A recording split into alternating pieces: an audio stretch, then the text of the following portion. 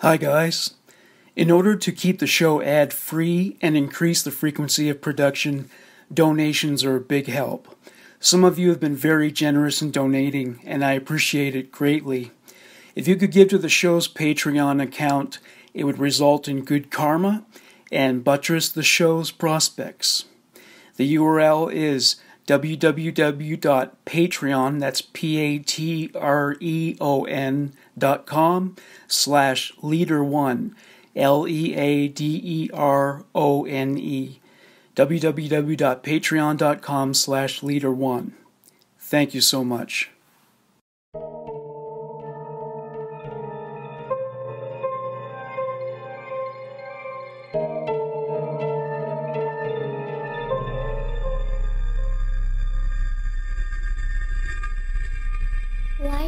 So scared? All I wanted to do was play with you. Please come and play with me. I'm so lonely. You're not afraid of the dark, are you? Don't be afraid. Come with me. I will show you where I play hide and seek. Do you want to play hide and seek? You hide, and I'll find you.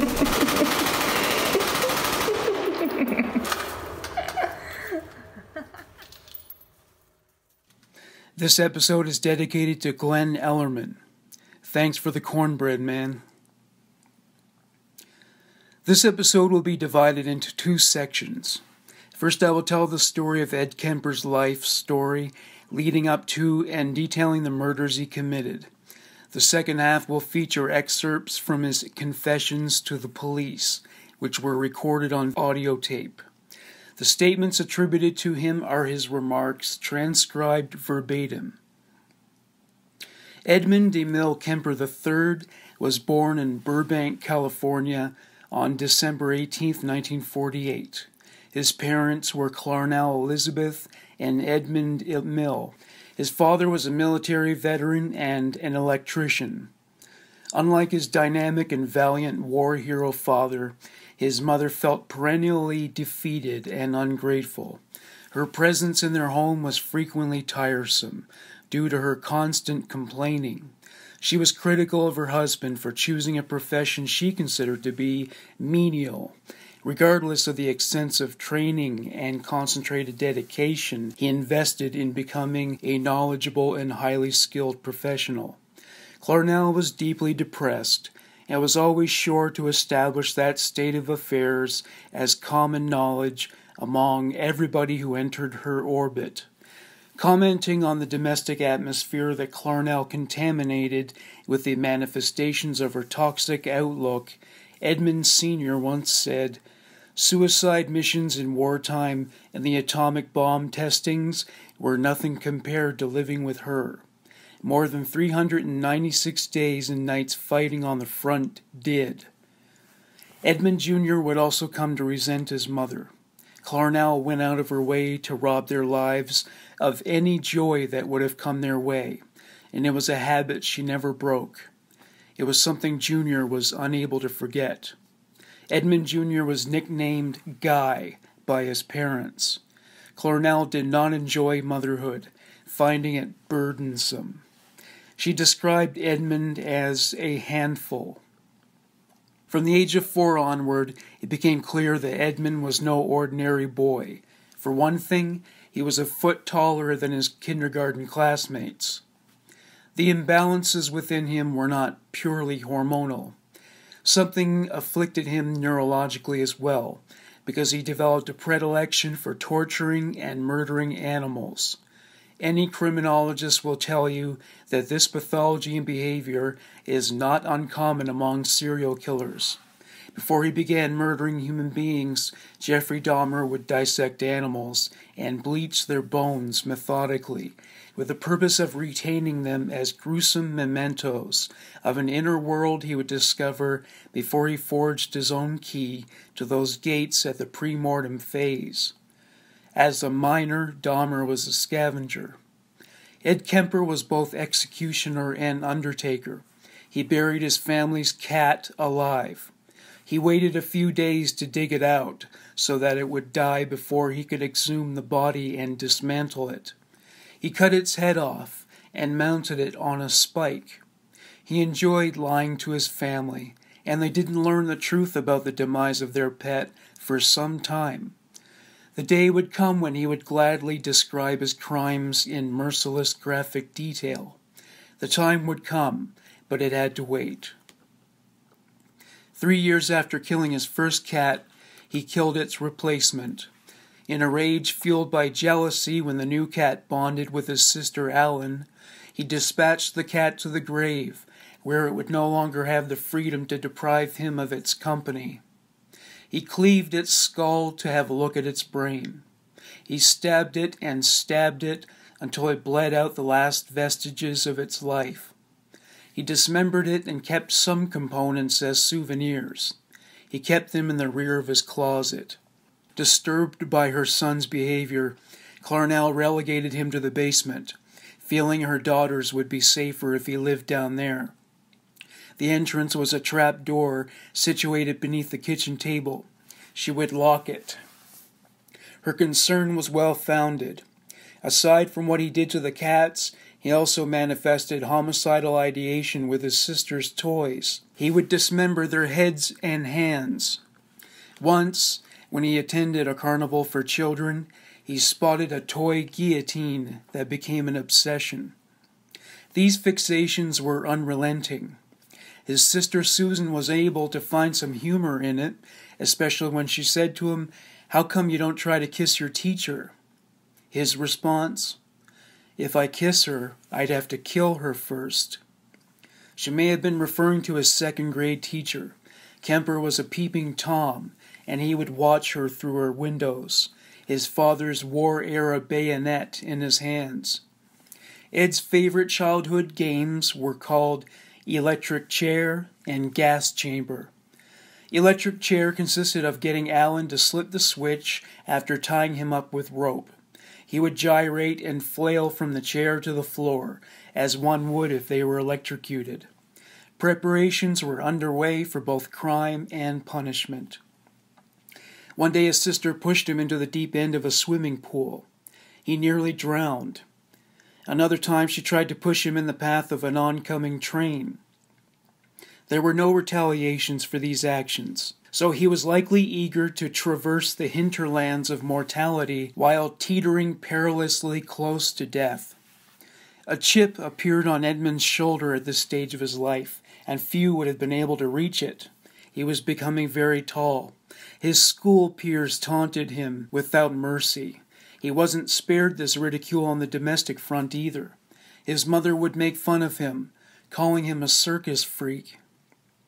His mother and father became estranged, and they separated in 1957. She hated being a single mother with an involved father and husband in the house. Now she was doing it on her own while working full time as a secretary, and she was livid. She forced Edmund to sell newspapers on a street corner.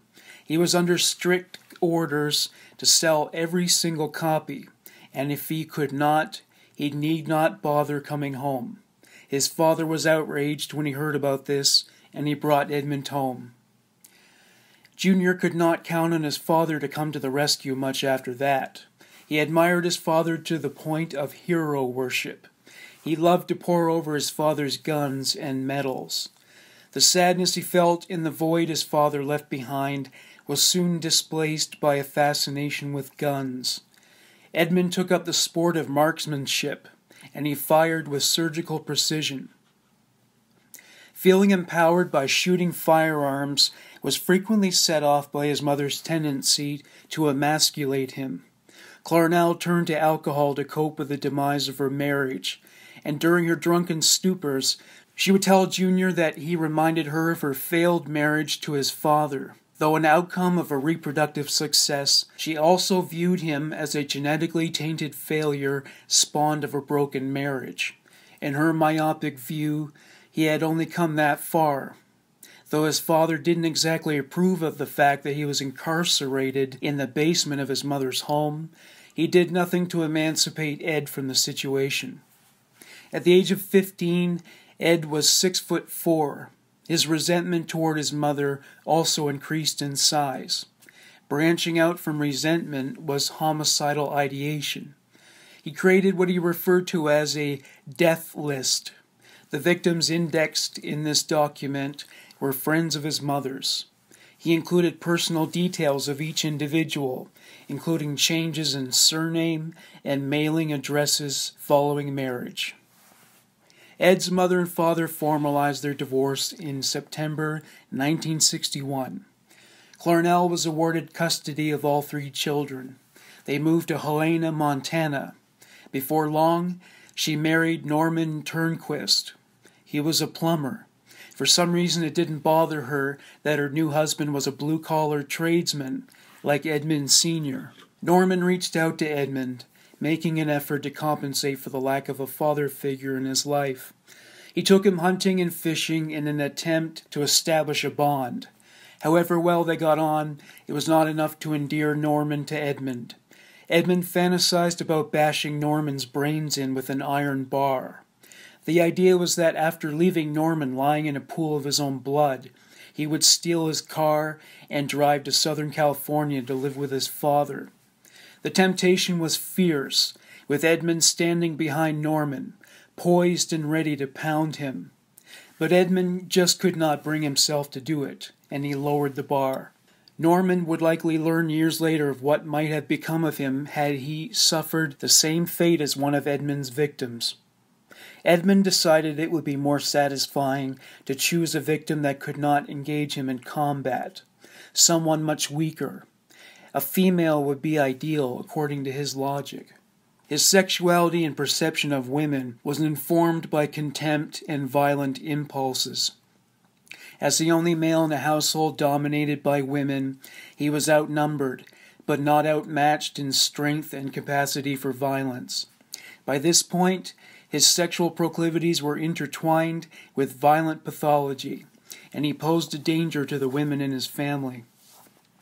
If they were aware of the threat, it was one they would have been well advised to take seriously.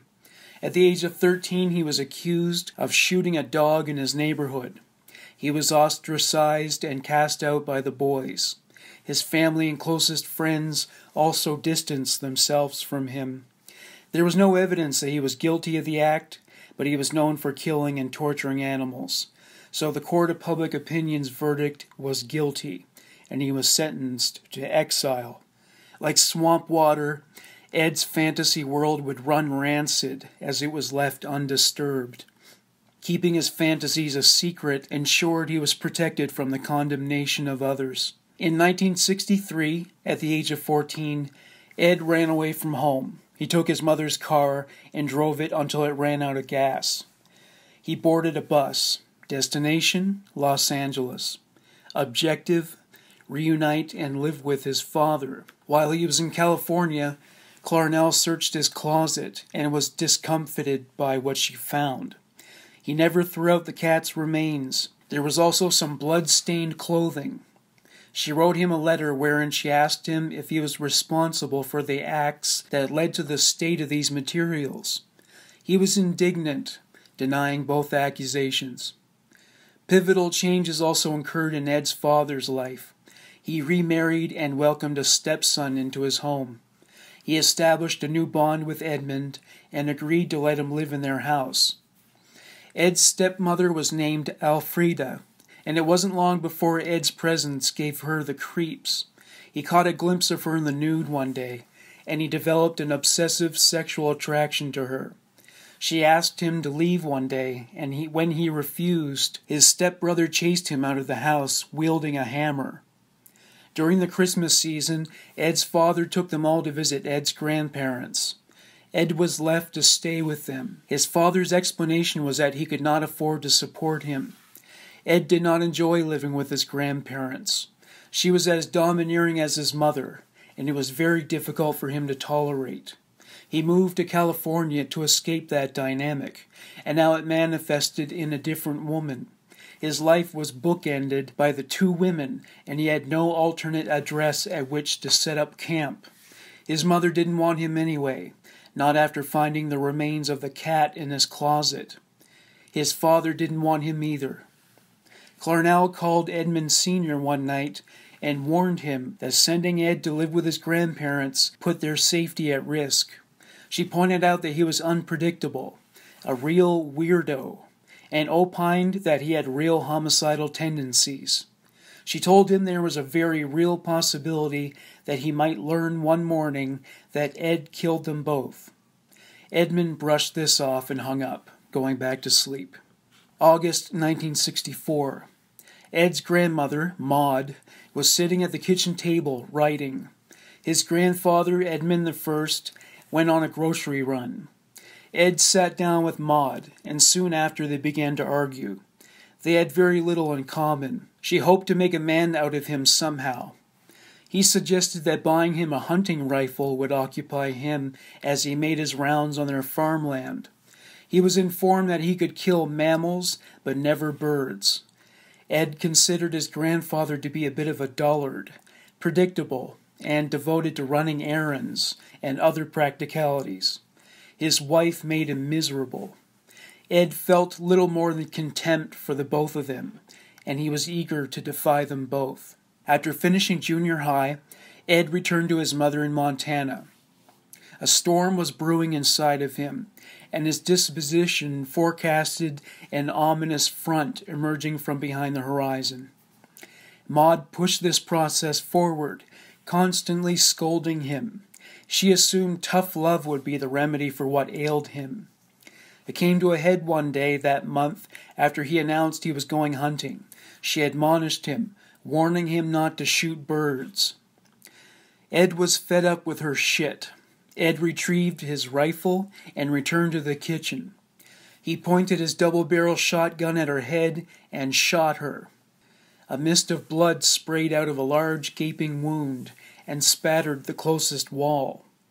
He shot her twice in the back, pumping out bloody sludge projectiles from the other side of her torso. Determined to eliminate any uncertainty about her condition, he grabbed a large kitchen knife and stabbed her repeatedly. Maud became a fountain of blood. Ed was amazed by the ocean of gore that swept across the floor in high tide. He wrapped her head in a towel. He dragged her corpse to the bedroom. Suddenly he heard the unmistakable sound of his grandfather's car pulling up in the driveway. Ed went out to the car, rifle in hand. His grandfather opened the door of the car to enable Ed to grab the groceries and bring them to the kitchen. This was purely presumptuous on his part. His grandfather didn't make it that far. Ed's idea of mercy was to kill his grandfather to spare him the harrowing visage of his wife marinating in her own blood. Ed raised the rifle and turned his grandfather's lights out with one lethal shot to his head, execution style. His grandfather didn't live to hear the shot that killed him. Ed dragged his corpse into the garage and shut the door. Concerned, the neighbors heard the shots that sprayed his grandparents' innards about the property Ed sprayed the yard with water from a garden hose until the blood seeped into the soil. Ed discharged his rage with the bullets, and now he felt vulnerable and afraid. He was not a seasoned criminal, benefiting from the wisdom of an advisory board of studied and experienced offenders. This was his first serious crime, and it was a doozy. Double homicide. Premeditated in the first degree. He didn't know how he was going to get out of that situation. Shooting his way out was one option if the police showed up, but they were bound to outshoot him with their mammoth stockpile of ammunition as they outnumbered him in personnel. Fortunately for his sake, he was alone, and it was easier to sort things out while there was no one in his orbit to panic and become hysterical. He decided to call the one person who might advise him on the best thing to do and it was the person he despised more than anyone. He called his mother. The one woman who herself was lucky not to catch a bullet that day, benefiting not from her son's second thoughts, but from the geographical separation that kept her out of his crosshairs. He told her what happened, though he altered the story, telling her it was accidental. She didn't buy this for a second. For many years, the question in her mind wasn't, will he? It was, when will he? She was no psychic, but she didn't have to be to predict this event after observing his off putting behavior for so many years. She told him to call the Madera County Sheriff's Office. She insisted that he give them a full and truthful confession. Within the hour, police showed up and found Ed Kemper sitting on the porch. They asked him for a motive. Ed said, I don't want to live with either of my parents, and I don't like living at North Fork. The officers probed for specifics, and he delivered. I just wanted to see what it would be like to kill my grandmother. He backed this up by telling them he had been contemplating that action for a long time. One officer asked, Why your grandpa then? Ed said, I didn't want grandpa to see his wife dead and have a heart attack and die. Ed mentioned he was mad at the world, but did not want to move back to his father's home. The officers arrested Kemper and took him to the station. 15 year old, 6 foot 4 inch Edmund Kemper was booked on suspicion of murdering his grandparents. The authorities received a phone call from Clarnell. She told them Ed called her and confessed to the murders. Ed said he shot and stabbed his grandmother because he, quote, did not want her to suffer, end quote. Chief Deputy William Helms sized up Ed Kemper, remembering him as highly intelligent but emotionally disturbed. A closed hearing in the juvenile court was held on September 22nd. A newspaper headline read, Judge weighs fate of young slayer. Kemper was remanded to the California Youth Authority for a then undetermined amount of time. Psychiatric testing was ordered by the judge. He underwent that testing at CYA's Perkins Reception Center at Sacramento. There it was decided where he would be sent for testing and observation. He was admitted to Atascadero on December 6, 1964. He underwent a rigorous program of psychological assessments. Court psychiatrists diagnosed him as a paranoid schizophrenic, but California Youth Authority psychiatrists and social workers disagreed with this judgment. Still, there was clearly something wrong with him. A diagnosis would elude them for some time. Throughout interviews, they found, quote, no flight of ideas, no interference with thought, no expression of delusions or hallucinations, and no evidence of bizarre thinking. They asked him if he felt remorse about his actions. Finally, they saw a definitive sign that all was not right in the brain of Ed Kemper. He told them he resented the fact that he didn't undress his grandmother. He didn't elaborate, so it is not known if he would have liked to disrobe her before or after the murder.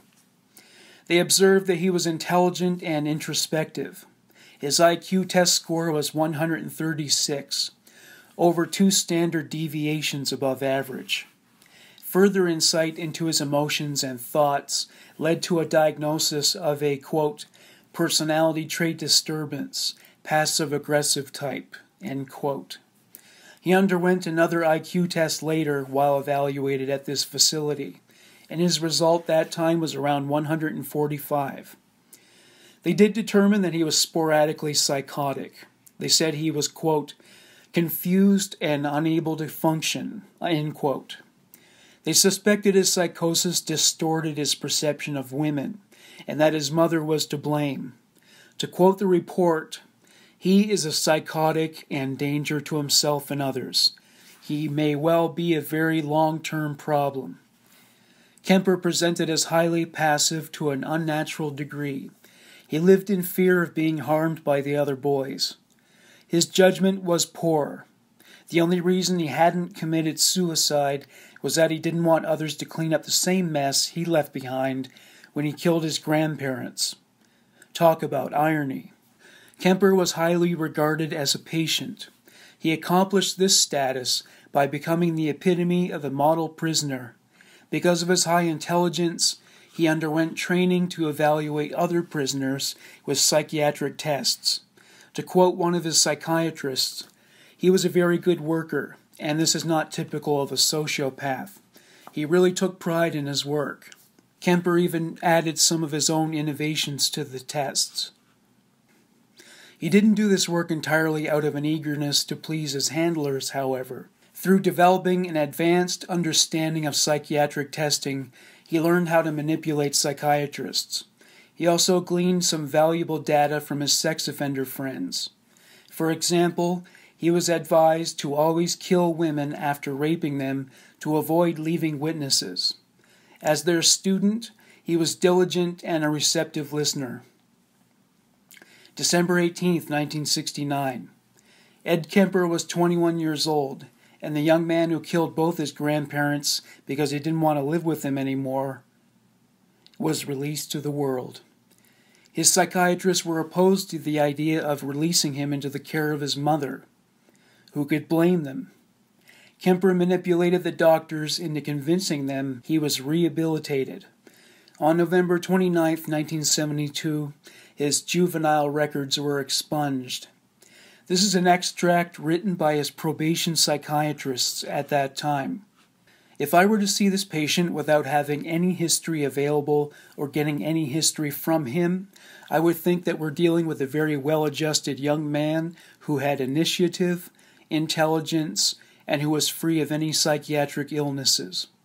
It is my opinion that he has made a very excellent response to the years of treatment and rehabilitation, and I would see no psychiatric reason to consider him to be of any danger to himself or to any member of society. And since it may allow him more freedom as an adult to develop his potential, I would consider it reasonable to have a permanent expunction of his juvenile records. While staying with his mother, he honored his vow to the probation authorities to take construction action toward embarking on a career. He attended community college with the intention of becoming a police officer. He was rejected because of his height. He was six foot nine by then. He acquired the nickname Big Ed. Though his dreams of becoming a badge were dashed, he sought out the company of police officers nonetheless. He would frequent a bar called the Jury Room, which was popular with off duty cops. Ed worked a few menial jobs before he was hired by the State of California Division of Highways. His relationship with his mother, as predicted by doctors, was hostile and toxic. Their arguments were so heated and loud their neighbors could hear. Kemper described these quarrels. My mother and I started right in on horrendous battles, just horrible battles, violent and vicious. I've never been in such a vicious verbal battle with anyone. It would go to fists with a man, but this was my mother, and I couldn't stand the thought of my mother and I doing these things. She insisted on it, and just over stupid things. I remember one roof raiser was over whether I should have my teeth cleaned. Kemper turned to the only practical resolution to withdraw from this contentious situation. He moved in with a friend in Alameda, California. Still, his mother wouldn't let up. She would call him or pay surprise visits. It didn't help that he struggled financially and would often return to her place when he was too destitute to carry on independently. In 1973, Kemper became engaged to a girl who was a student in high school at the time. The engagement was terminated after his second arrest. Her parents requested that her name be withheld from the public. Kemper was hired by the State of California's Highway Division. That same year, Kemper bought a motorcycle. He was hit by a car one day. His arm was badly broken. He filed a civil suit against the driver and received a settlement of $15,000, approximately $87,2021. He bought a car with the money, and he noticed several attractive young women hitchhiking. Inspired, he packed his car with plastic bags, knives, blankets, and handcuffs. At first, he would just pick them up and drop them off at their stated destinations, as promised. He picked up an estimated 150 female hitchhikers at this time. Something was boiling up from within him, what he called his, quote, little zapples, end quote. If you are a criminologist or a psychologist, you would more likely label them homicidal sexual urges. Unaware at the time, The field was about to become more competitive for the likes of Ted Bundy, thanks to Edmund Kemper. May 7, 1972. Ed Kemper picked up two 18 year old hitchhikers, students Ann Pesce and Anita Mary Luchessa. They requested a ride to Stanford University, and he assured them he would take them there. After driving for an hour, Kemper came upon a secluded forest near Alameda, California. He knew it well due to his work with the Highway Department. He altered his course from the direction that would have taken them to Stanford. Having arrived at a site he deemed as suitably isolated, he handcuffed Anne and locked Anita in the trunk. He stabbed Anne and strangled out every last breath. He dispatched Anita using identical tactics. Kemper would later comment on the experience of killing Ann Pesce, saying that while she was handcuffed, he, quote, brushed the back of my hand against one of her breasts, and it embarrassed me. He even said something to the effect of, Whoops, I'm sorry.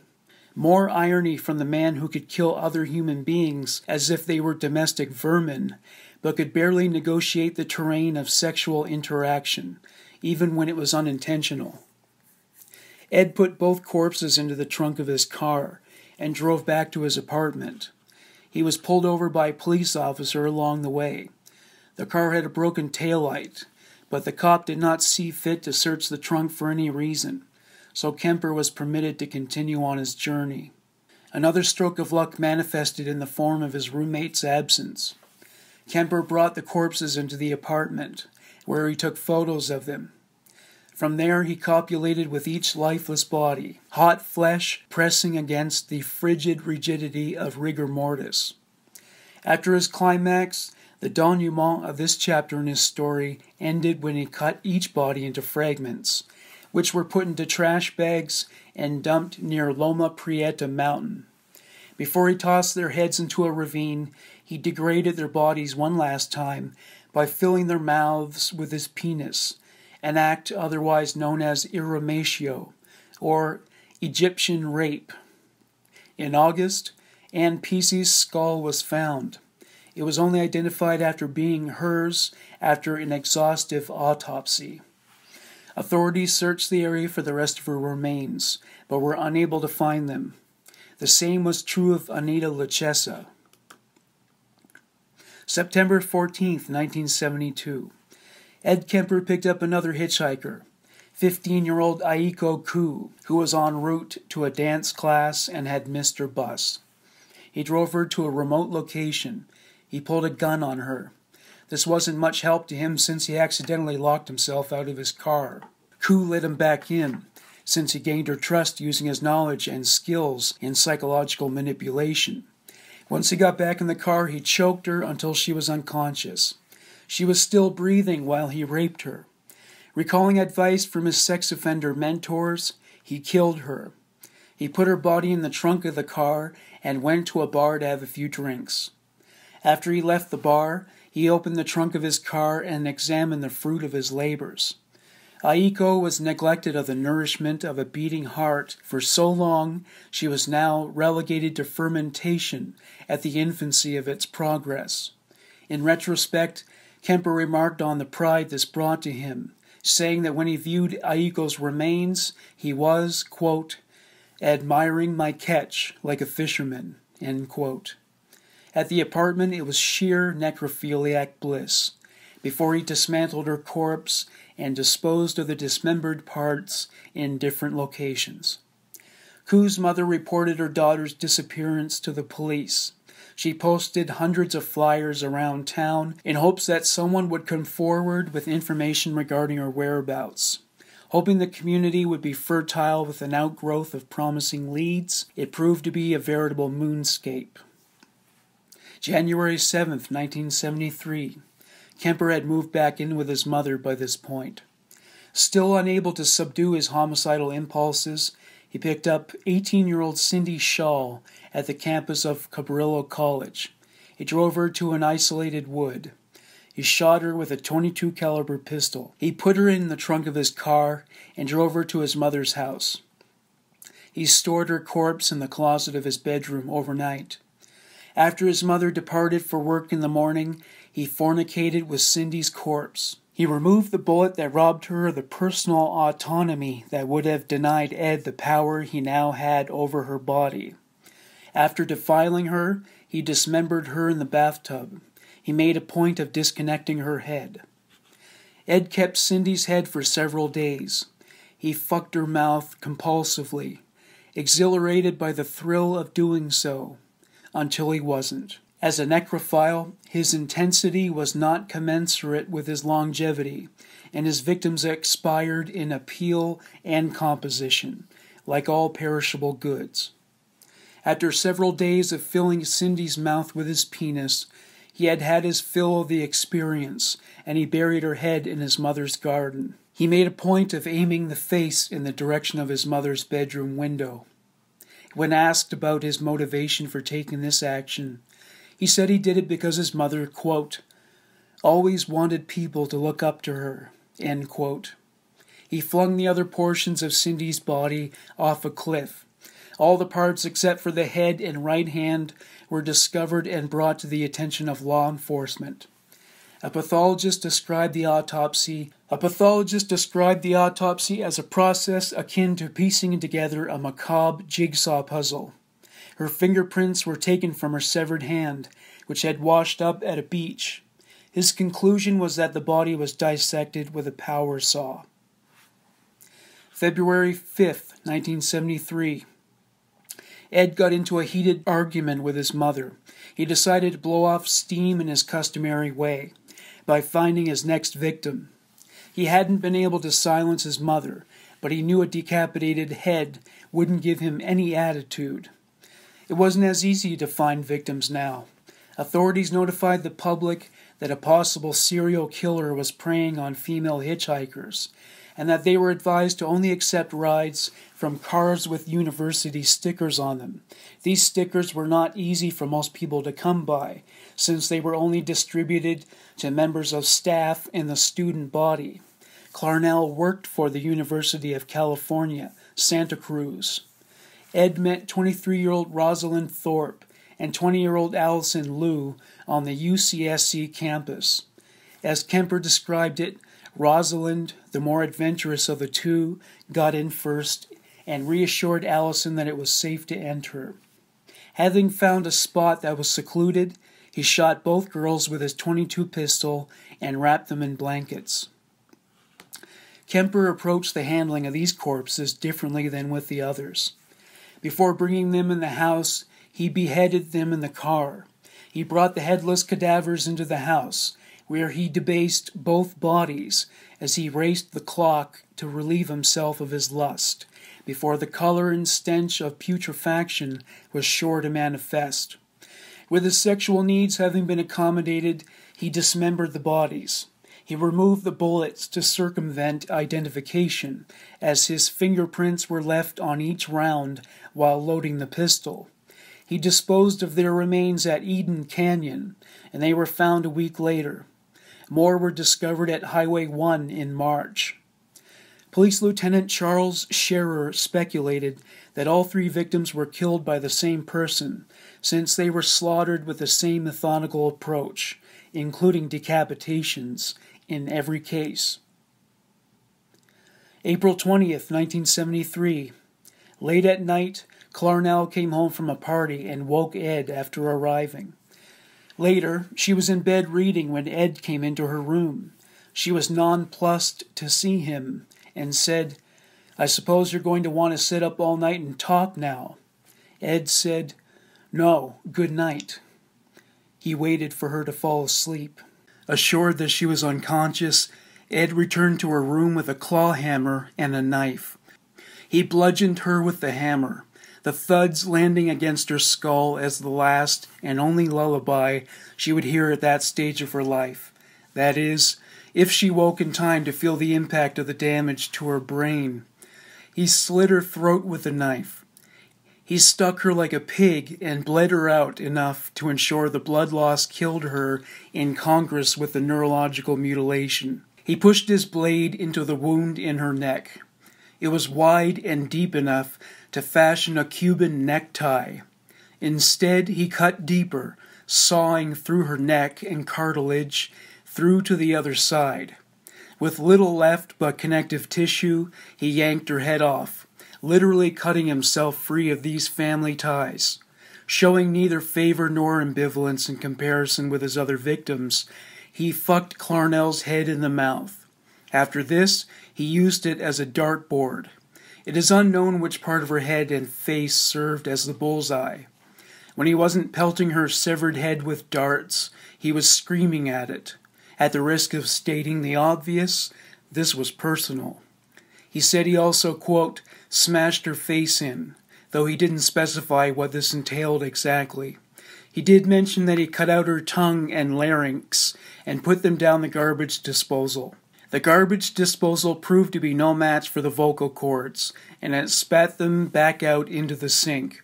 Reflecting on this, Kemper said, that seemed appropriate, as much as she'd bitched and screamed and yelled at me over so many years. He finally got her to shut the fuck up for good, and yet, anatomically speaking, her annoying voice wouldn't go down without a fight. Kemper concealed his mother's corpse in a closet. He went out to a bar. When Ed returned home from the bar, he invited his mother's best friend over. Her name was Sally Taylor, 59 years old. The plan was to have dinner and watch a movie. Hallett accepted, but without seeing a single frame of film, a horror scene played out when Kemper strangled her to death. He cleaned up after the murder to erase any indicators of foul play. He left this note for the police. Approximately 5:15 a.m. Saturday. No need for her to suffer any more at the hands of this horrible murderous butcher. It was quick, asleep, the way I wanted it. Not sloppy and incomplete, gents. Just a lack of time. I got things to do. Ed left the scene. He drove all the way to Pueblo, Colorado, without stopping. It was a thousand mile drive, and he took caffeine pills to stay awake. Among the belongings he packed were three guns and hundreds of rounds of ammunition. He believed that at that point the police must have initiated a manhunt. He listened to the radio news reports carefully, keenly awaiting bulletins regarding the deaths of his mother and Sally. When he arrived in Pueblo, he still hadn't heard anything. He went to a phone booth and called the police. He confessed to both murders.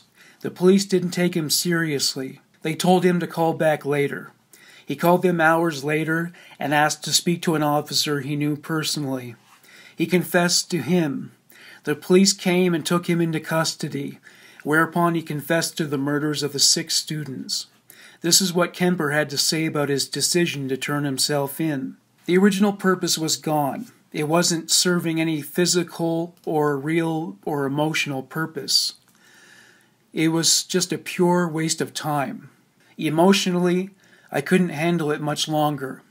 Toward the end there, I started feeling the folly of the whole damn thing, and at the point of near exhaustion, near collapse. I just said to hell with it and called it all off. April 24th, 1973. This is the transcript from Ed Kemper's first confession. It took place at the Santa Cruz Sheriff's Department. He was interviewed by Lieutenant Charles Scherer. All right, now we get through Thorpe. Now let's get into Liu again. When you fired the shot into Thorpe. Yes, and she slumped over. Miss Liu panicked and she went unconscious, but she was making a very strange sound. I almost threw up as we were going down the hill. It was a sigh, a constant, over and over sigh. This was after the shooting? Yeah, would you describe the shooting again?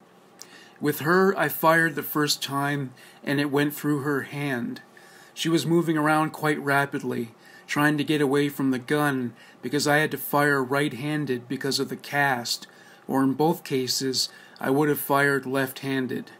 It was awkward in both cases. I had to turn it around like this, so I was at a bad angle with her and I missed. They were bad shots the first two times but the third shot I moved it almost out of my hand and around at a direct angle. The first shot through her hand missed her head completely, and the second one grazed her head and also went through her hand and embedded itself in the car and ricocheted back out the front. Then the third shot, I was positive that she was unconscious, but I really don't think I needed to do that. She was very slumped over in the seat, and she was scrunched way down in the seat and was only maybe two thirds the height up off the seat. So her head was not visible above the cushion like it normally would be. So I just put the coat over her and grabbed the blanket and unfolded it enough. And I tried to push Miss Thorpe over down into the floorboard area, and she wouldn't budge. She was just sitting there, slumped over completely. And so finally, I just pulled her over sideways on the seat and put the blue velveteen sort of blanket over her and made sure it stayed below the level of the windows there and that it wasn't an obvious shape or anything. I kept it double thickness and just opened it enough so it looked like a flat blue surface and started and continued right down the hill and never hit the brakes actually, maybe only once or twice when I reached back. Right after I put the blanket over Miss Thorpe, a car came down. So I smoothly accelerated so there wouldn't be a blast of gas and a jerk or anything.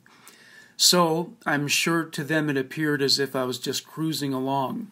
They came down behind us, and I came right down in front of the guard station at the bottom, where the cars were parked and everything, and there were two guards standing right by the road out there having a little conversation.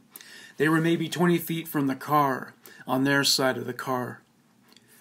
Yeah, it was a sigh, a very strange sigh. It would, it would start out very sharp, almost like a snuffle, and then it would taper off in a little bit more like a masculine sigh, than a fine girl, petite type of girl like she was. It wasn't low or anything, but it was very disconcerting and it was constant.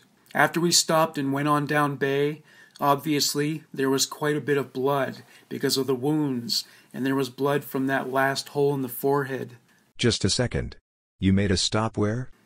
Right by the guards. I made a stop right next to the guards, and they glanced over and were talking. I stopped right there at the stop sign and continued right down Bay. What were your movements from there? I went straight down to Mission, turned right and headed out on Highway 1, making sure I broke absolutely no rules and was doing my damnedest to look cool while I was freaking out about Alice Liu in the back seat there, which I'm sure she was unconscious. At first, I didn't think so, and I made a couple loud statements and just continued right on through so I knew she was unconscious. But the blood started running and started gurgling, and the sighing was still there.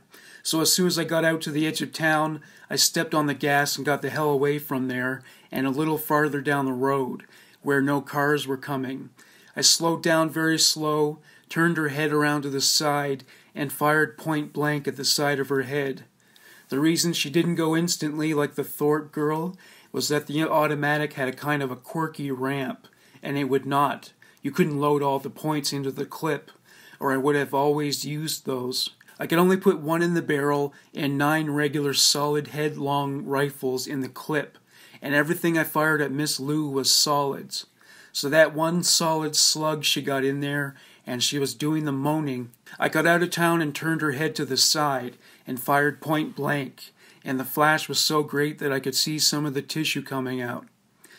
She stopped immediately, silence. Then I turned back around about two seconds later and then started up again, and it was really getting to me. So there's a place down the road. You know, that popular beach area where the sign is, like it says Davenport and all that, Bonny Doon, etc. A lot of people park there. Well, the next one back from there is the loop. Some people get on that and think they're going to Bonny Doon, and it loops right back out. Laguna. Yeah, I circled back down through that and went up on that little cul-de-sac up in there. I had the parking lights on, jumped out, and put both of them in the trunk. Unfortunately, Miss Thorpe was very hard to handle. She didn't look as heavy as she was at all. As I was moving her and trying to get her up over into the trunk, she slipped and came down and landed on her left side. I picked her back up and pushed her on in. I just dragged Miss Liu and put her in, and her back up and pushed her on in.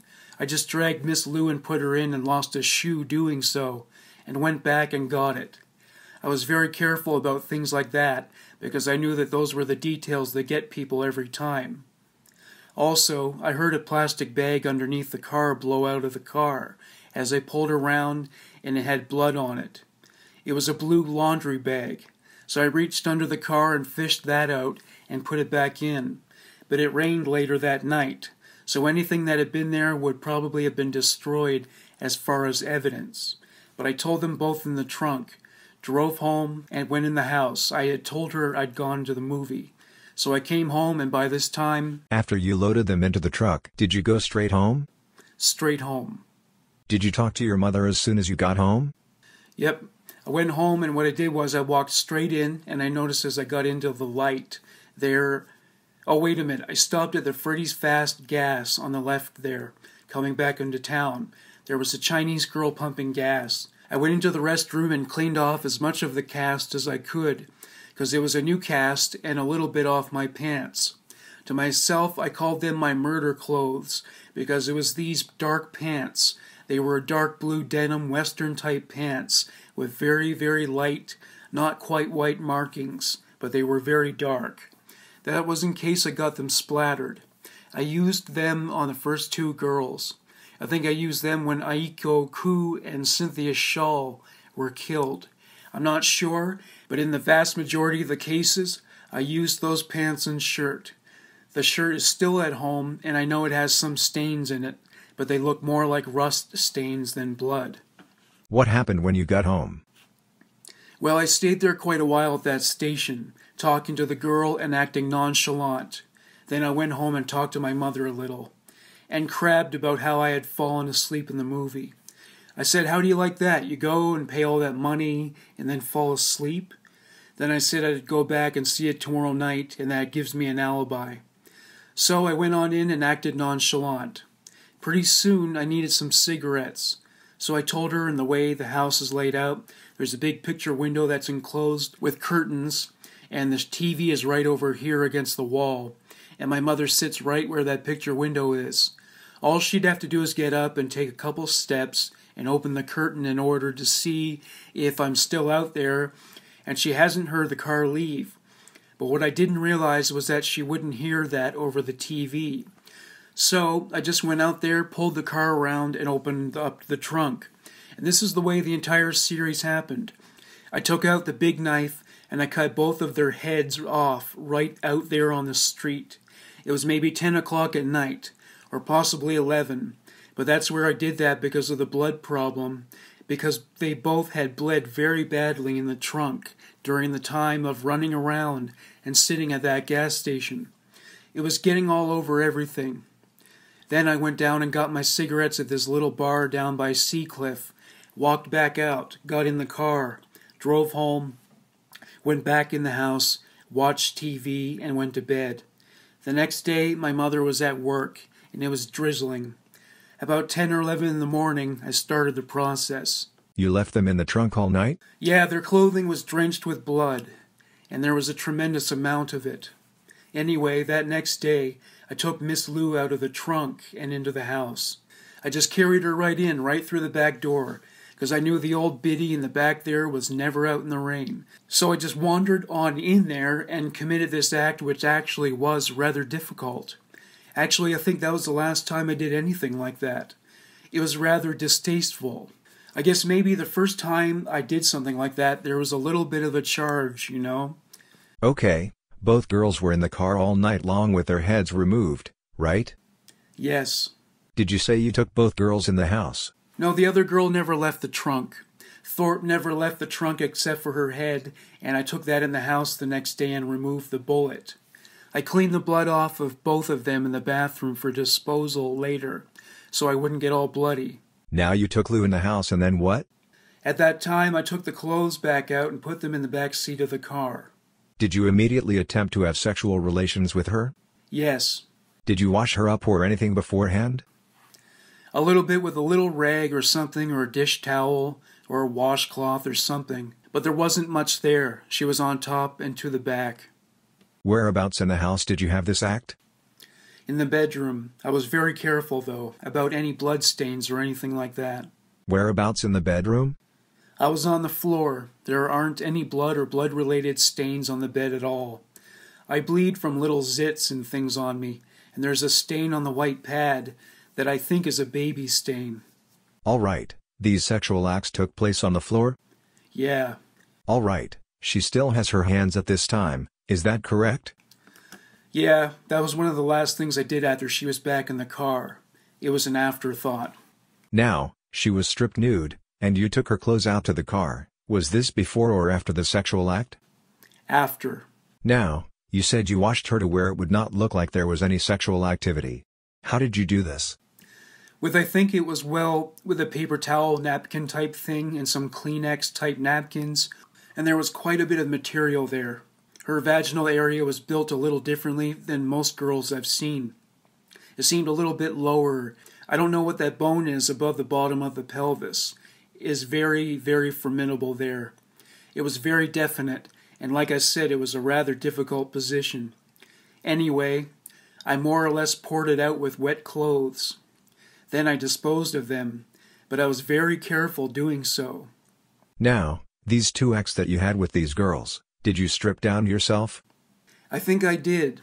I changed my clothes while I was at it, too, because I had the clothes from the night before, and they were formidably stained on the pants from the night before, because Miss Liu was quite bloody in the back seat there. When I removed her from the car, I got stains all over the side. Now, we've got Liu in your room. What happened after the sexual acts? Well, like I said, I cleaned her up, I carried her back out, and there was a party going on upstairs. This was about two o'clock in the afternoon. Did you have her wrapped in anything? I think very casually in a blanket or something very small, because her legs were hanging out. I was carrying her like a mannequin, sort of. She was very lightweight. I just wandered right out there with her and put her in the trunk right under the window. That's one thing that amazes me about society. That is, that you can do damn near anything and nobody's going to say anything or notice. All right, then you got her back in the car. Then what happened? That's when I removed the hands. I noticed them especially then.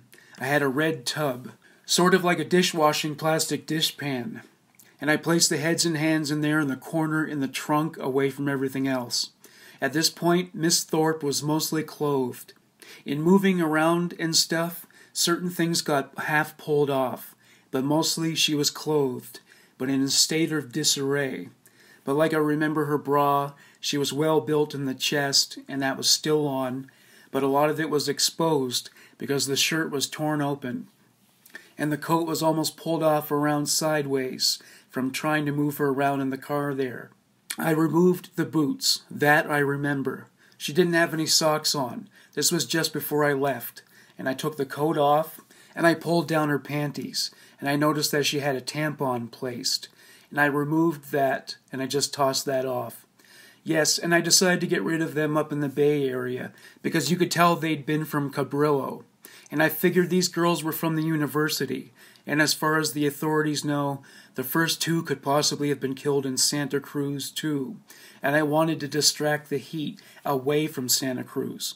So figured so I figured I know both areas and the authorities wouldn't necessarily know that I know the Bay Area well because the job that I do entails extensive travel through those areas especially like with the disposal of Miss Koo's heads and hands and I knew that particular area really well and knew that people at two o'clock in the morning would not be traveling that road at all. So they would think that it would be at least somebody within five or ten miles of that area and that's what I wanted people to think. All right, you drop up 17 to Alameda. Yep, and I stopped by and saw my friend for a while, went out to dinner, and then went out to a movie. I arrived on the scene up at Eden Canyon Road about 2 a.m. In fact, I think it was very close to 2 a.m. when I actually got rid of them. It was probably 1:30 when I got up there, and it was a good half hour or 40 minutes before I had the nerve to get rid of them. I went up and down the road looking for places. I had a big flashlight and was looking all over, vetoing different spots for different reasons. Then I decided upon this one because of the steep grade down from the road and the fact that there were discarded items down there already. And probably nobody would go by looking down there as a habit. I dragged both bodies over to the edge and laid them horizontally and pushed and rolled them down. Unfortunately, Miss Liu, both of them, were in rather contorted positions because of their positions in the trunk. Did anything happen while you were disposing of the bodies at that location? No, wait a minute. Yes. When I was pulling Miss Thorpe out of the car, she fell on the back side and left a rather large deposit of excrement. And I'm sure some of it stayed because there was a rather good size of discharge there. Then I just pulled her straight over to the edge. That's the only unusual thing I can think of. There were no cars at all the whole time I was down that road. If even one car had come by while I was down checking things out, I would have vetoed the whole place. Did you deposit all parts of the bodies there? No, like I said, I had the heads and hands in the red container, and at that time I moved them to the front floorboard on the passenger side and put a blanket over it, so I'd have quick access. I was trying to make up my mind what to do with that, and I decided what I'd do is go up to the Devil's Slide area. My first choice was to go up to Devil's Slide and actually just drive by because it's very dangerous to stop there. So, I decided with these high banks there at Devil's Slide, I'd drive by to find a likely spot and heave them over as hard as I could, hoping they would go in the water. But I vetoed that idea because of all the different chances involved, and also because just before I got there, I can't remember the damn name of the town. It's the little town at the base of the hill the last little hamlet that you're going to hit before you hit Highway 1 and Devil's Slide on down. Pacifica, that's it. I made sure no cars were coming either way when I stopped, checked it out, and took off again. Came back around, made sure no cars were coming, pulled up, leaped out, and one head at a time went up to the very top and heaved them as far as I could, and they both landed in the vicinity of that barbed wire fence and I guess later on, the hair detached itself and the heads rolled on down further. Where did you learn that from? I went back later, about two weeks later. I went back later about two weeks ago. In fact, two weeks to the day, at night worrying, worrying, worrying, thinking that was a dumb thing to do. Why didn't I skip those heads and bury them somewhere? And I vetoed that originally, because I was just too worked up and I didn't want to put out any more hassle and take a chance of getting caught. So I went back two weeks later. I had another appointment with my doctor on the cast. So I went up there about four in the morning and parked and went all over that hillside with that damn flashlight. And all I found was the one clump of hair, sort of. It belonged to Miss Thorpe, definitely. It was not scattered. It was sort of in a bundle and was by in a bush or in a bush. That's apparently where it had landed, and it had rained a few times. But I guess something like the next day or the day after, those boys up there messing around found one of the skulls. April 25th, 1973. This is an excerpt from Ed Kemper's second confession. Where did you make the removal on this girl's shawl? Uh, it was similar to, in fact, identical to the Koo girl, with the exception of the splitting of the torso across the middle, the midsection, and I used an old Division of Highways axe, a large plastic chipping axe that I had. It was rather sharp. Where is it at? It's up at the dump, but I think you can get it. I threw that away after you came up. He caused me quite a bit of consternation, and he was very cool about it, too. The axe is out at the Santa Cruz City dump. You washed this axe? Oh, yeah. It still had some. She was rather fatty, and there was I had a bad problem there where I didn't with the others, with the body fat, grease type coating, and there's some of that still on that axe, I'm sure. Okay, now you have the body in your apartment, all night long, right? Yeah. When did you start dissecting the body? I think it was around 11 o'clock the next morning. It took a hell of a long time. Where was it done at? In the bathtub, there's two bathrooms. The one I used was the one closest to the living room.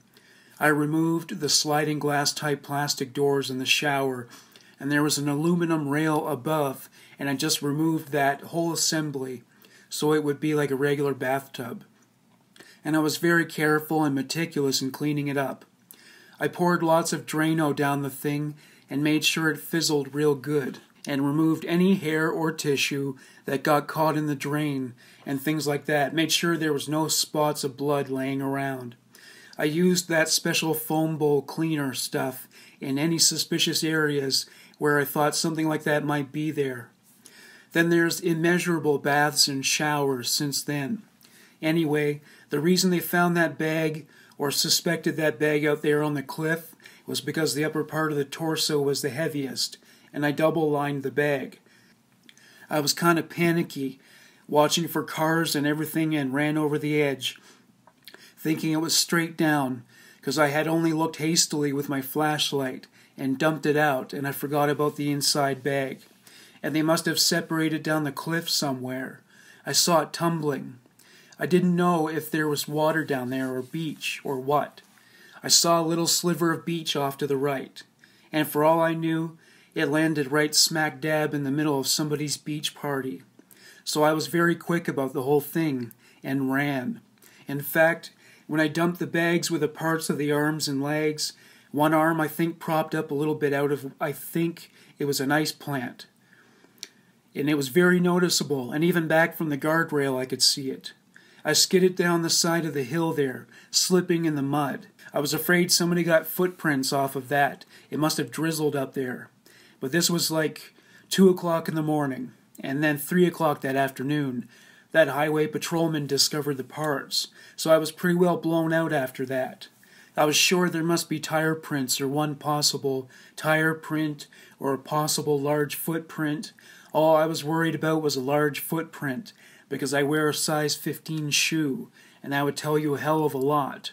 When you thought you might have left a tire print, did you do anything? No, I thought seriously about getting my tires recapped. Were all parts of the Schall girl deposited at that one spot? Everything but the head. Where's the head? That's what I didn't want to say. It's in the backyard at my mother's place. There's a stone stepping thing in the backyard. What I did was like I, I only cut the hole with a trowel that big around. It was about 11 inches deep. That was on January the 8th. So maybe that was the 9th that I did that. The reason I was going to let it stay there a few months and was going to dig it back up and take the bullet out of the skull and then dispose of the skull rather than hack and chop. Because my thing was no evidence at all if I could possibly help it. If I stand there with that certain type of axe, chopping into the skull and dispose of the skull, you're going to have a pretty good idea what type of axe it was. Okay, we've got Cynthia Schall's shirt, and her head over at your house, but all the other parts of her body were deposited over the cliff?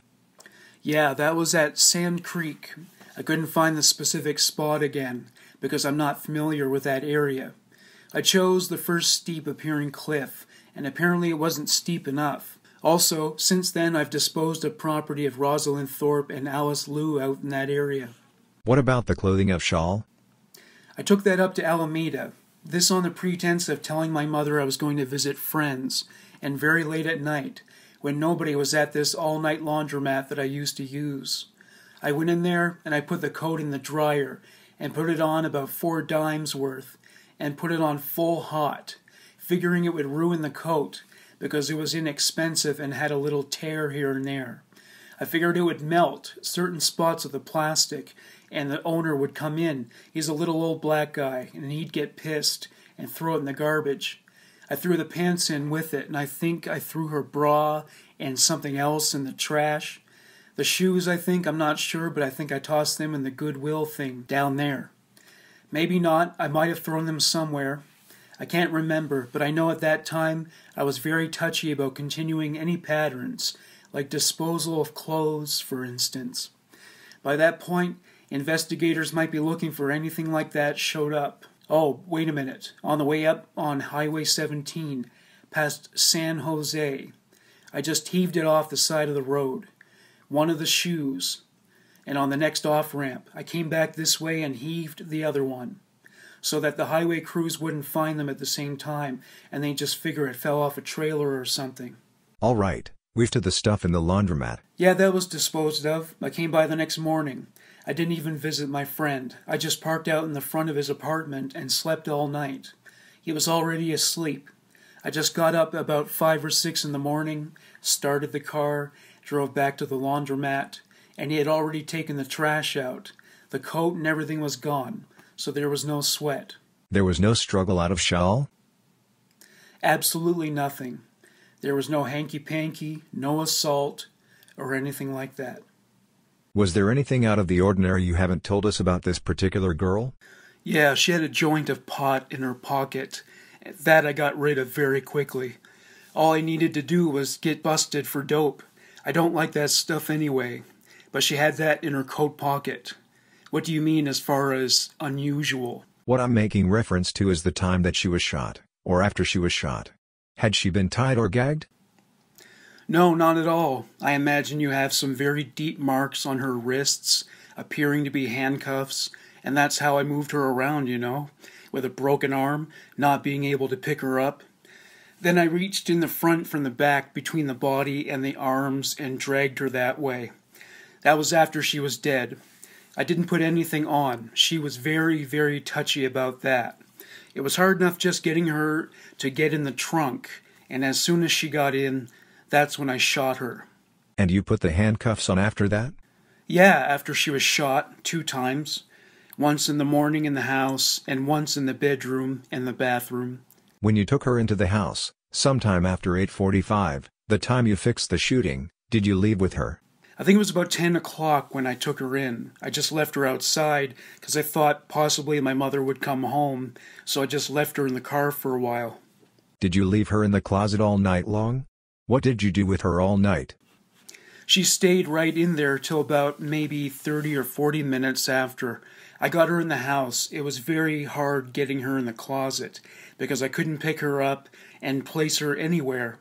It seemed to me almost immediately after that but I knew if I tried any messing around, or anything which I believe would have been very difficult anyway, she was a rather large girl, but I did disrobe her before I put her in the closet.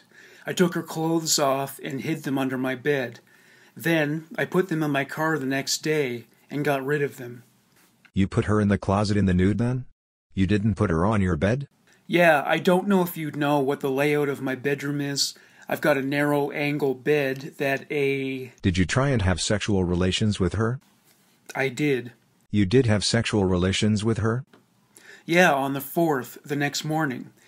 This sounds terrible, but that night she was quite limp and very hard to move around as it was. And I just. No way that. Um. But I'd never had sex with a large girl like that before and I decided to see what it was like. Actually, you can't really check that point off, I understand, because of the state of the body. But I will say that the next morning I did. Also, that pretty much finishes that one because that brings up something about the next two. I did have relations with Alice Liu after her death. Also, I imagine the heavy rains up in the area after I disposed of their bodies helped. What type of knife did you use to dissect her? I use the same knife in all of them. It's it's a buck knife. It's called the General, and it's the largest. It's something like a Bowie knife, but it has more of a straight blade rather than real fancy or curved. Where is it at now? It's at home. It has a black case. I think it's there's two pink chest drawers, one right beside the door and there's one over by the closet, and it's the one right inside the door. That's where I kept my guns and pistols, ammunition, and the knife. Is this knife sharp, or did you sharpen it?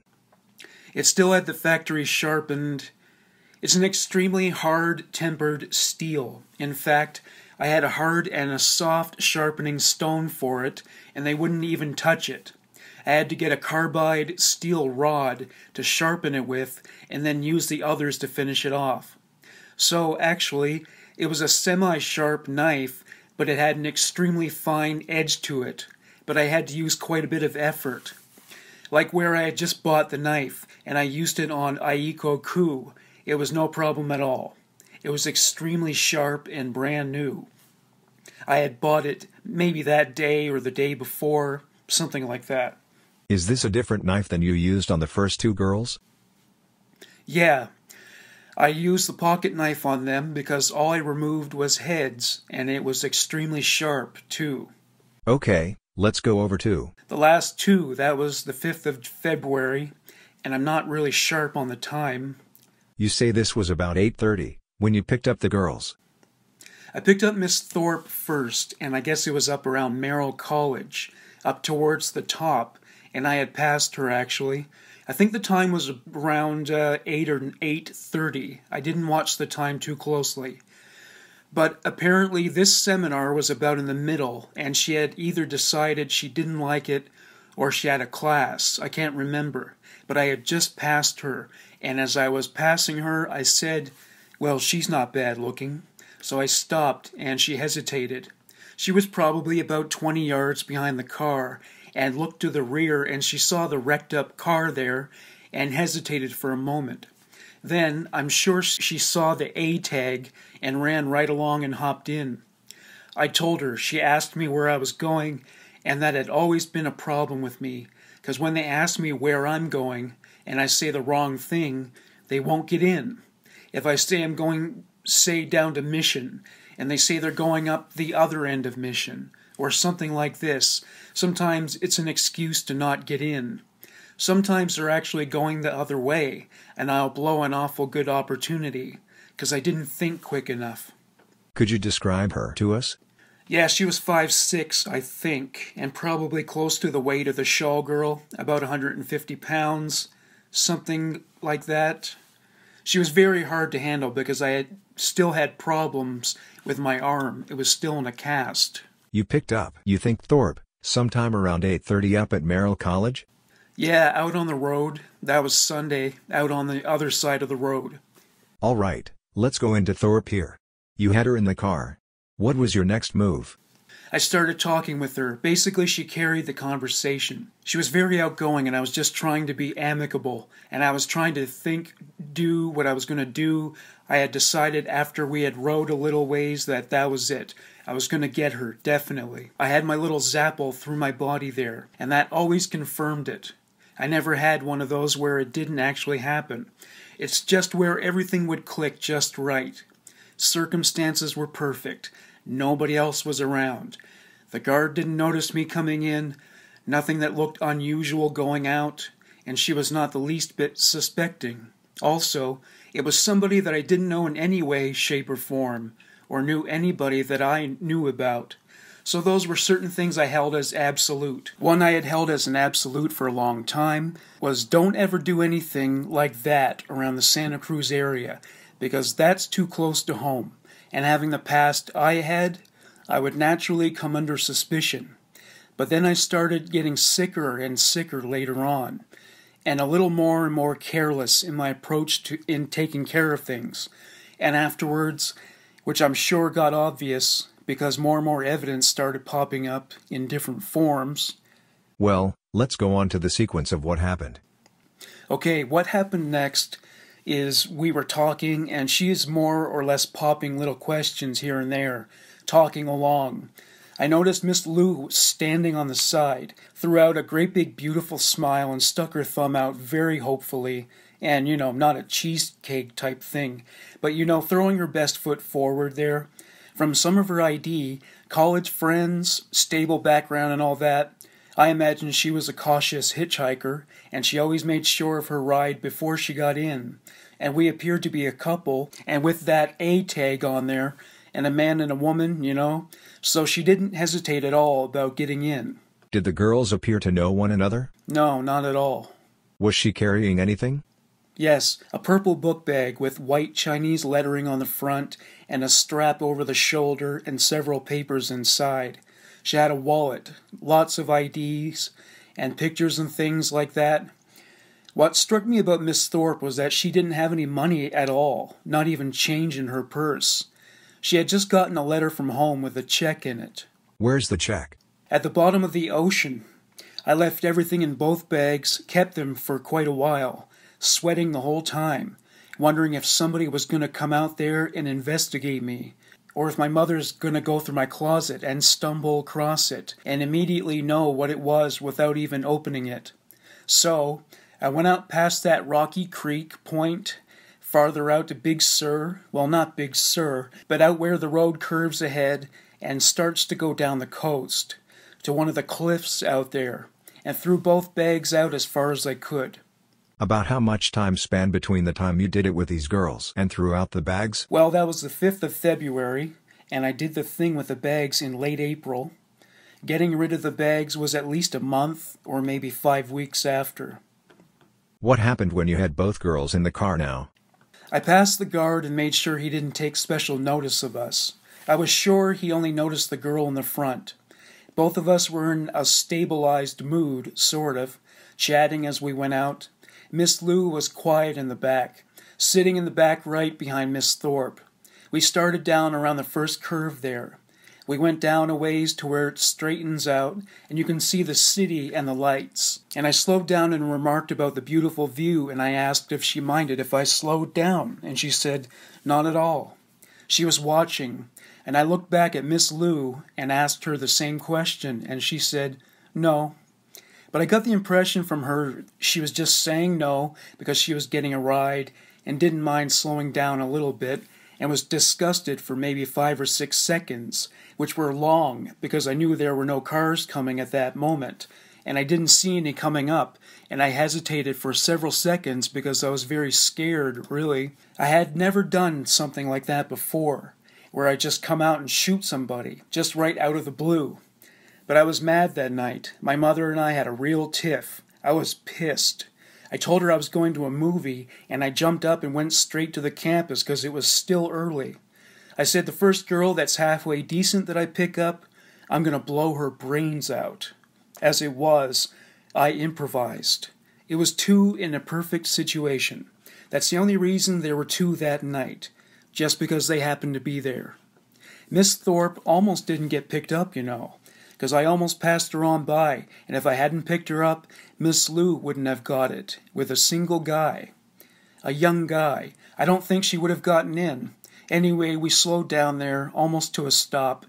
We're just barely moving, and I had been moving my pistol from down below my leg in my lap. A solid black pistol. And the interior of my car was black, so she couldn't see it, and I picked it up and had it on my lap talking with her, and I moved it up to the side like this, and I just picked it up and pulled the trigger, because I knew the minute I picked it up like that, the girl in the back was going to see it, and I didn't want any problems.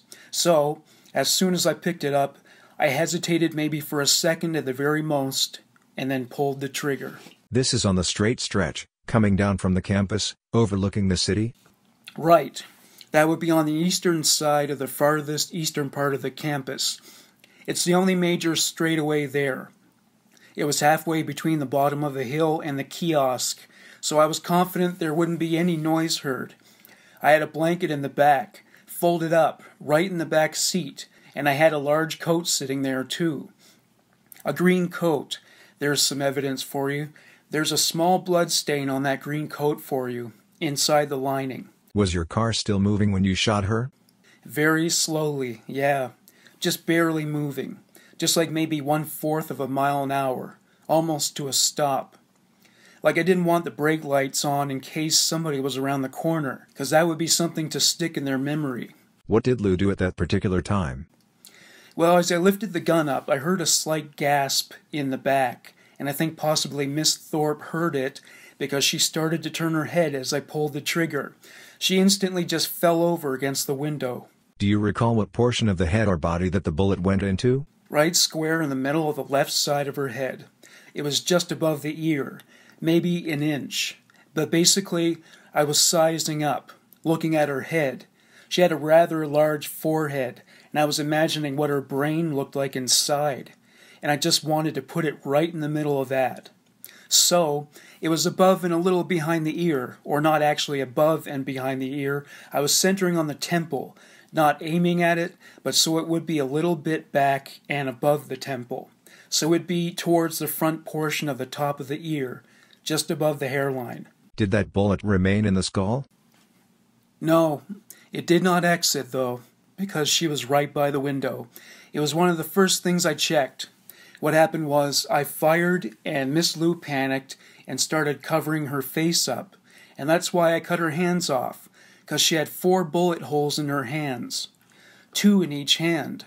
I had to fire through the hands. She was moving very quickly around, and she was down into the corner, and I missed twice. One just went through her hand, I guess. It went right into the padding of the car. The next shot I fired went into one of her hands, the back of her hand, and hit her just right around the temple area on the right side of her head. And it had a glancing blow, cause it took a long tearing cut in and went right along the bone. I'm sure it broke the top of the jawbone, cause there were broken bones up in that area. It creased along there, came out, exited through the ear. There was a hole in the ear and hit the same padded area as the first bullet. It hit at a glancing angle and it was flattened out. The bullet was. It hit in and ricocheted off of the inside, came back out, right in front of the cushion, hit the cushion, it bounced out into the front floor mat, and I found it there. That, I think, stunned her. She was making quite a bit of noise. No loud shrieks or screams, but quite a bit of fuss there. And then, as I fired a second time, it quieted down, but she was still making noise, and her hands were starting to come down, and she was moving over a little bit. And I thought she was still going, so I aimed carefully and fired. That was the bullet that would be in this area on the right front forehead, just about the middle of the forehead, and that was the last shot I fired at them but there was one more fired later. April 28, 1973. This is an extract from Ed Kemper's third confession. This interview will be based around the incidents that occurred at your home last Saturday. Is there anything that you want to tell me that led up to this incident? Not really. Well, let's start with the reason for it. That's rather involved. The reason for it is these murders were coming to a head, I felt that I was going to be caught pretty soon for the killing of these girls, or I was going to blow up and do something very open and get myself caught. And so I did not want my mother. A long time ago, I had thought about what I was going to do in the event of being caught for the crimes, and the only choices I seen open is being that I could just accept it and go to jail and let my mother carry the load and let the whole thing fall in her hands, like what happened last time with my grandparents. Or I could take her life. Well, I guess that leaves me two choices. I could either do it in the open with her knowing what was happening, or I could do it when she didn't know what was happening. Last Friday night, whatever date that was, I had decided it was the night before the killing, or the day before the killing, really. I had been thinking about it for quite a while, and I just started working myself up towards the act of killing her. I guess that answers the reason.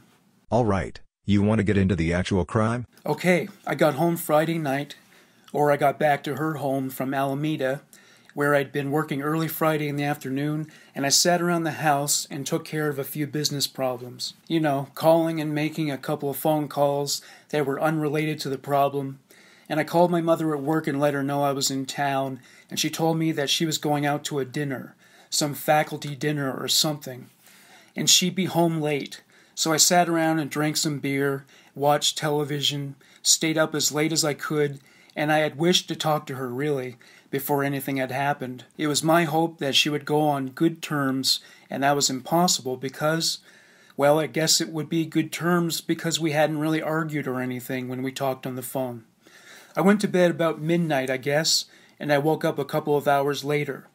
Well, let me see, that doesn't work out right.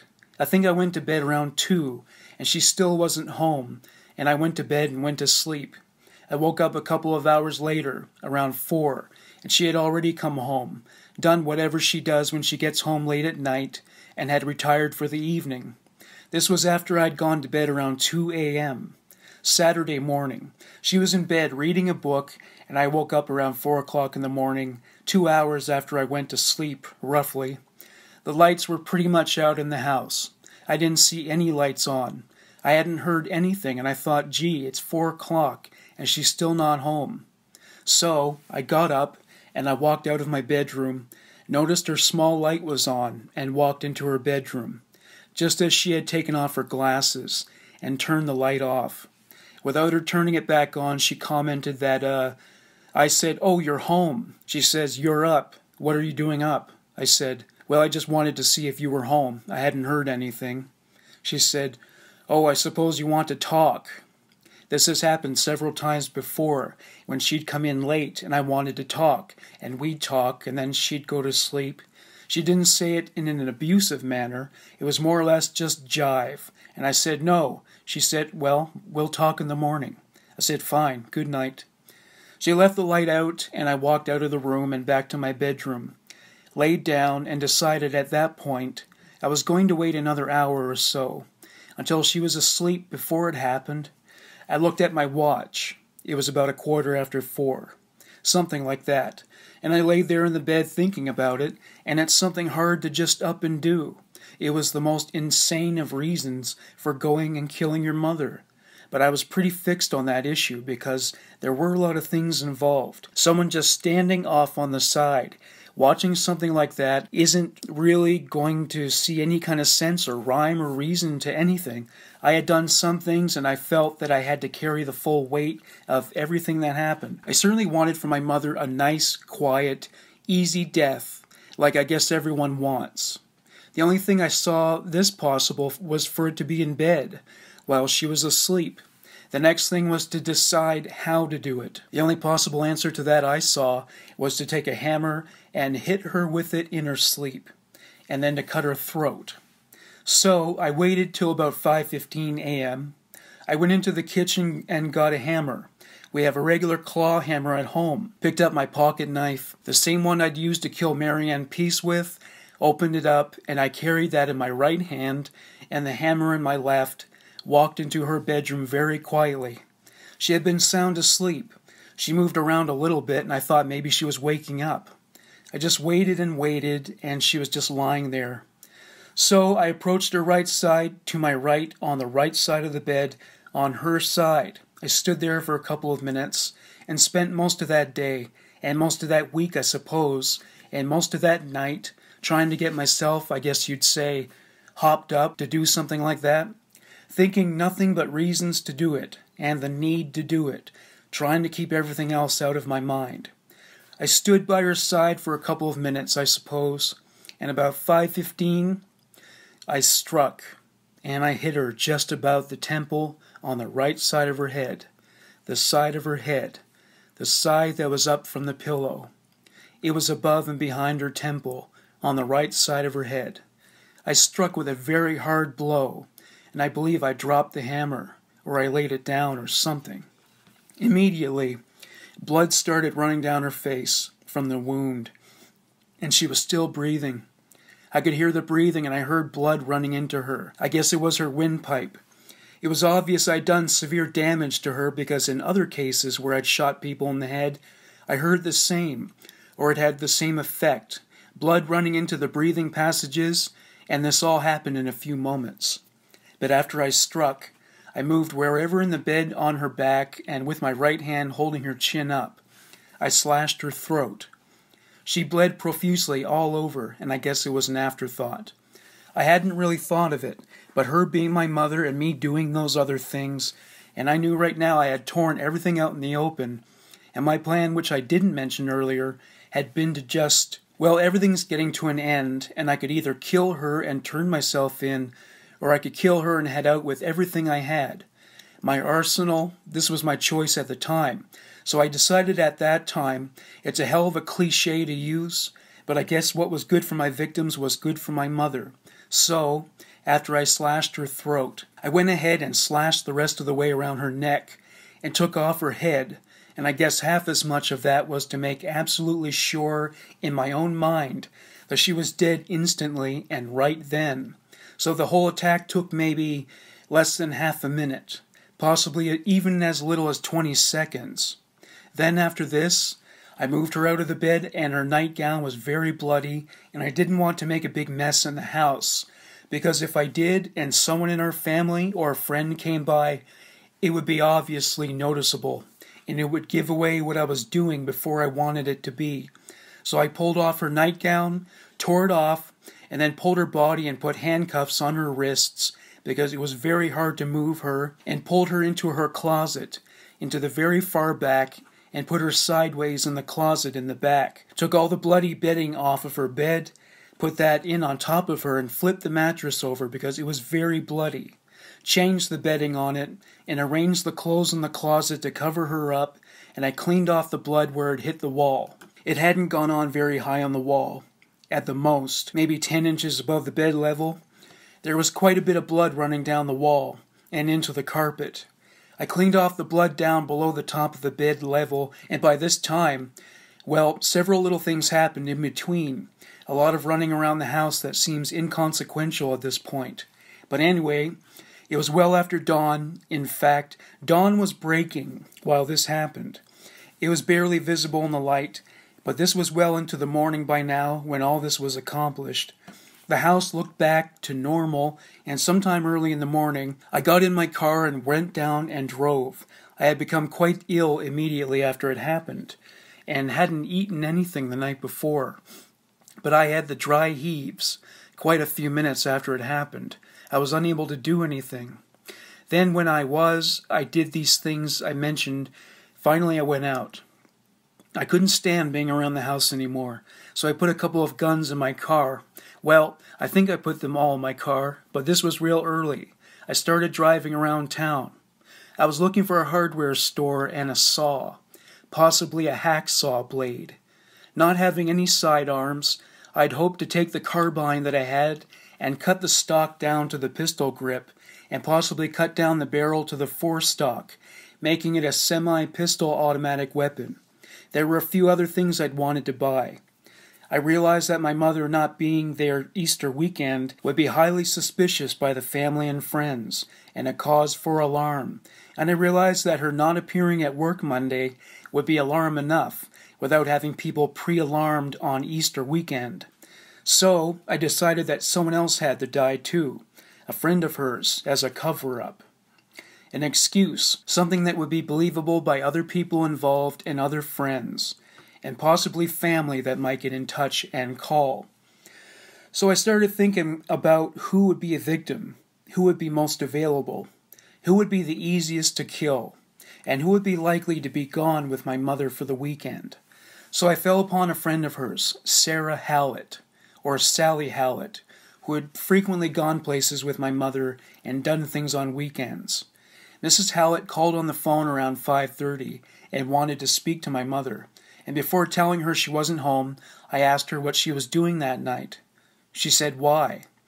I told her I'd just gone back to work and had gotten a raise while I was home recuperating for four and a half months with my broken arm. This previous week had been my first week back at work on a regular job in Oakland, and I told her that I was celebrating and that I'd like her to come along with my mother and I to dinner and a movie. The reason I did this was I knew she'd accept. I don't know if I should say for selfish purposes she would accept, but I had surmised from past acquaintances with her and past sessions, let's say at home and out, that she would leap at something like that. So that's what I thought to say. Of course, she jumped at the idea. I told her that my mother was not home, that she would be home a little later, and I said, why don't you come over about 7:30 and we'll supervise her and go out to dinner and a movie? She said fine. I prepared for her coming. I closed all the windows and the doors in the house, making sure all the sliding windows were shut and all the doors to the various rooms to the house were shut, leaving the living room very quiet, which was where I planned on killing her. Next, I had to decide how to do it. I felt upon the idea of strangulation. So I had a cord that I had taken from the first two girls that I had killed, Miss Peace and Miss Luchessa. It was a strong nylon rope type cord, and it was probably three feet in length, maybe a little longer. I took that into the living room. I took in a large bludgeon type broken piece of equipment that I had had from the state. It was the top end of a drill shank which is approximately one five eighths of an inch diameter and was close to a foot long, I'd say, about 10 inches or 11 inches long. I was backing myself up in case of possible difficulties in my attack.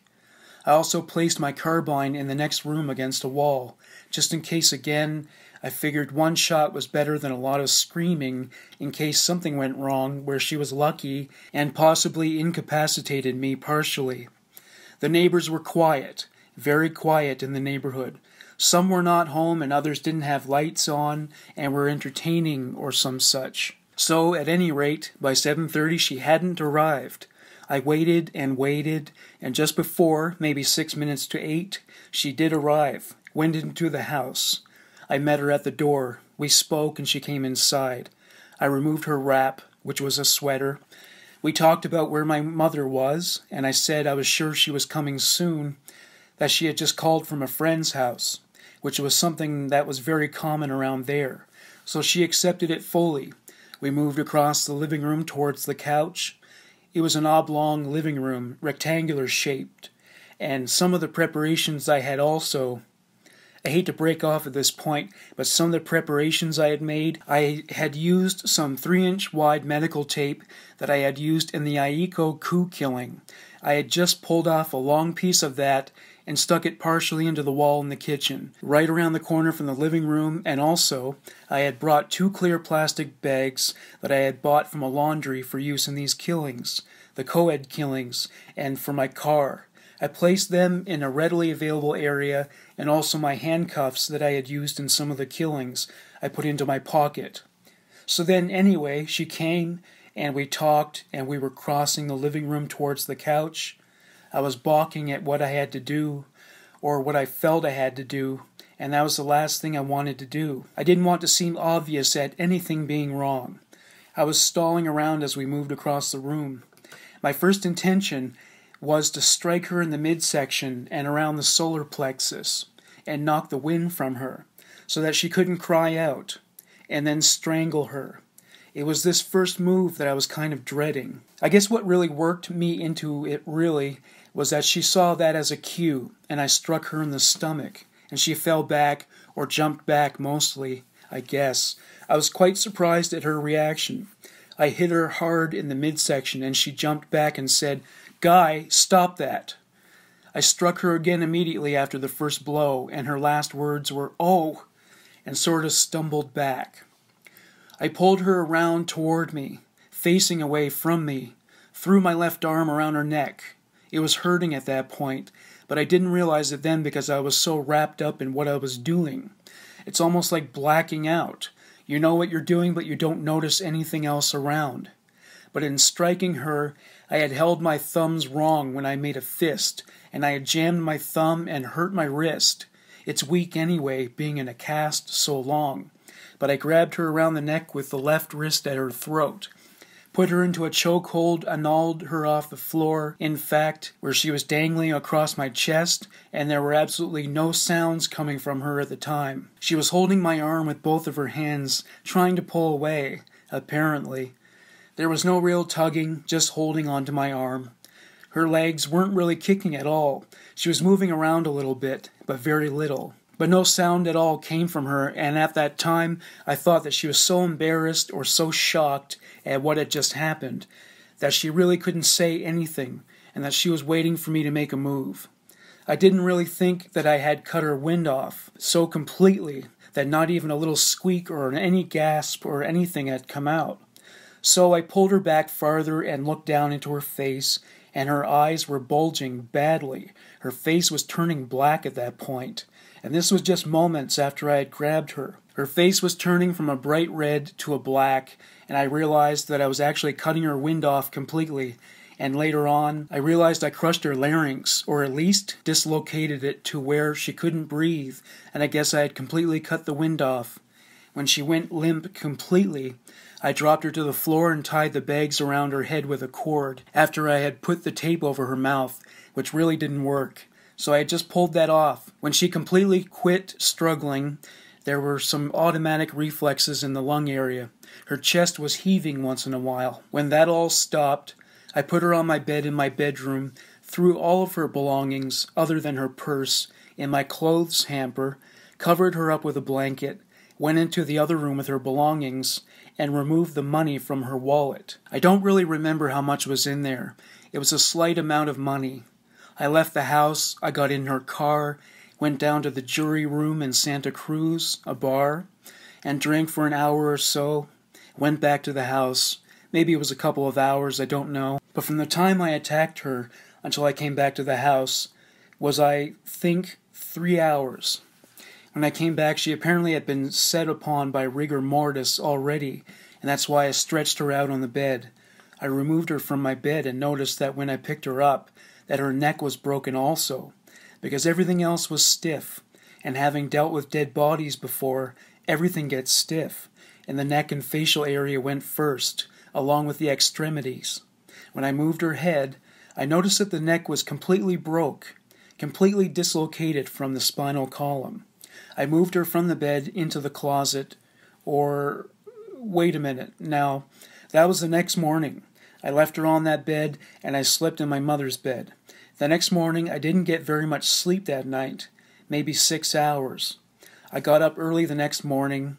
That's when I moved Mrs. Hallett's body up to the closet, into the stand up wooden closet in my mother's room, and closed the door and put the desk in front of that door so nobody would open it and it would be just like it had been before. If someone opened the other door of the closet, it was so packed with things that one would not see anything on the other side.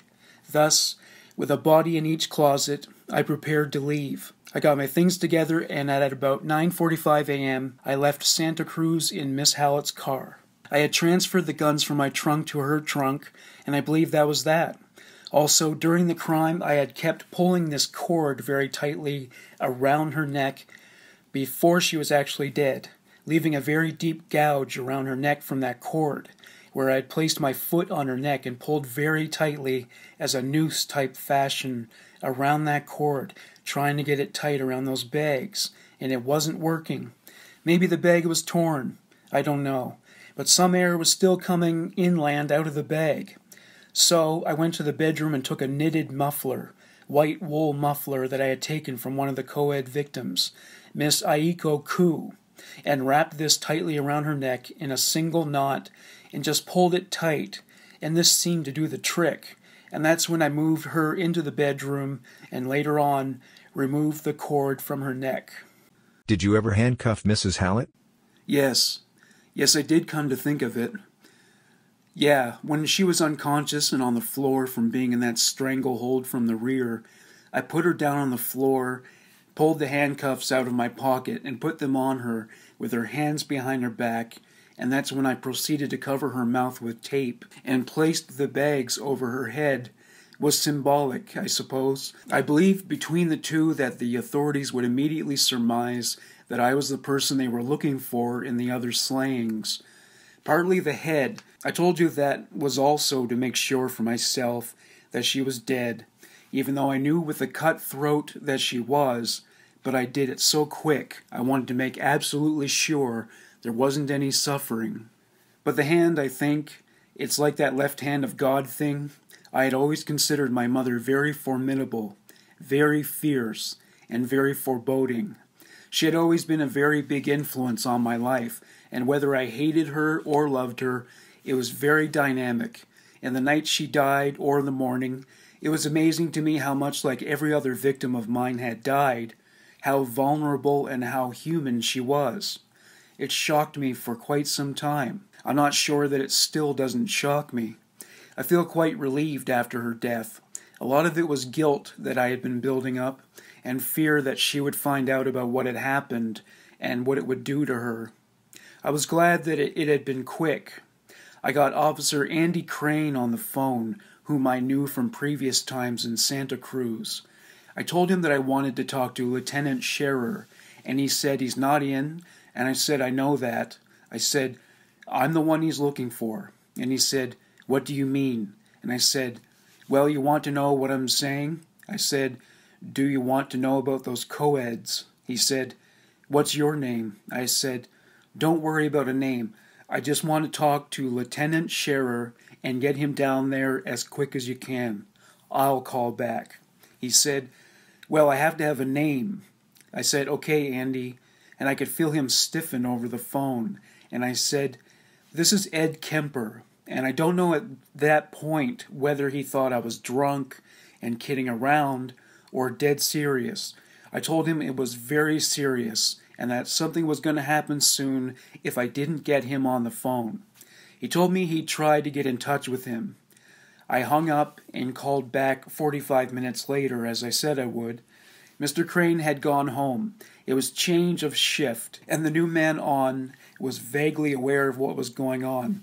I didn't have the change at that time to call back, so I called collect. He refused the call and indicated that Lieutenant Scherer wouldn't be in until 9 a.m. This threw me so far back, and realizing at that time that they were not at all aware of what had happened with my mother and her friend, and with the state I was in, this was a hell of a shock to me, and that's when I started going off the deep end.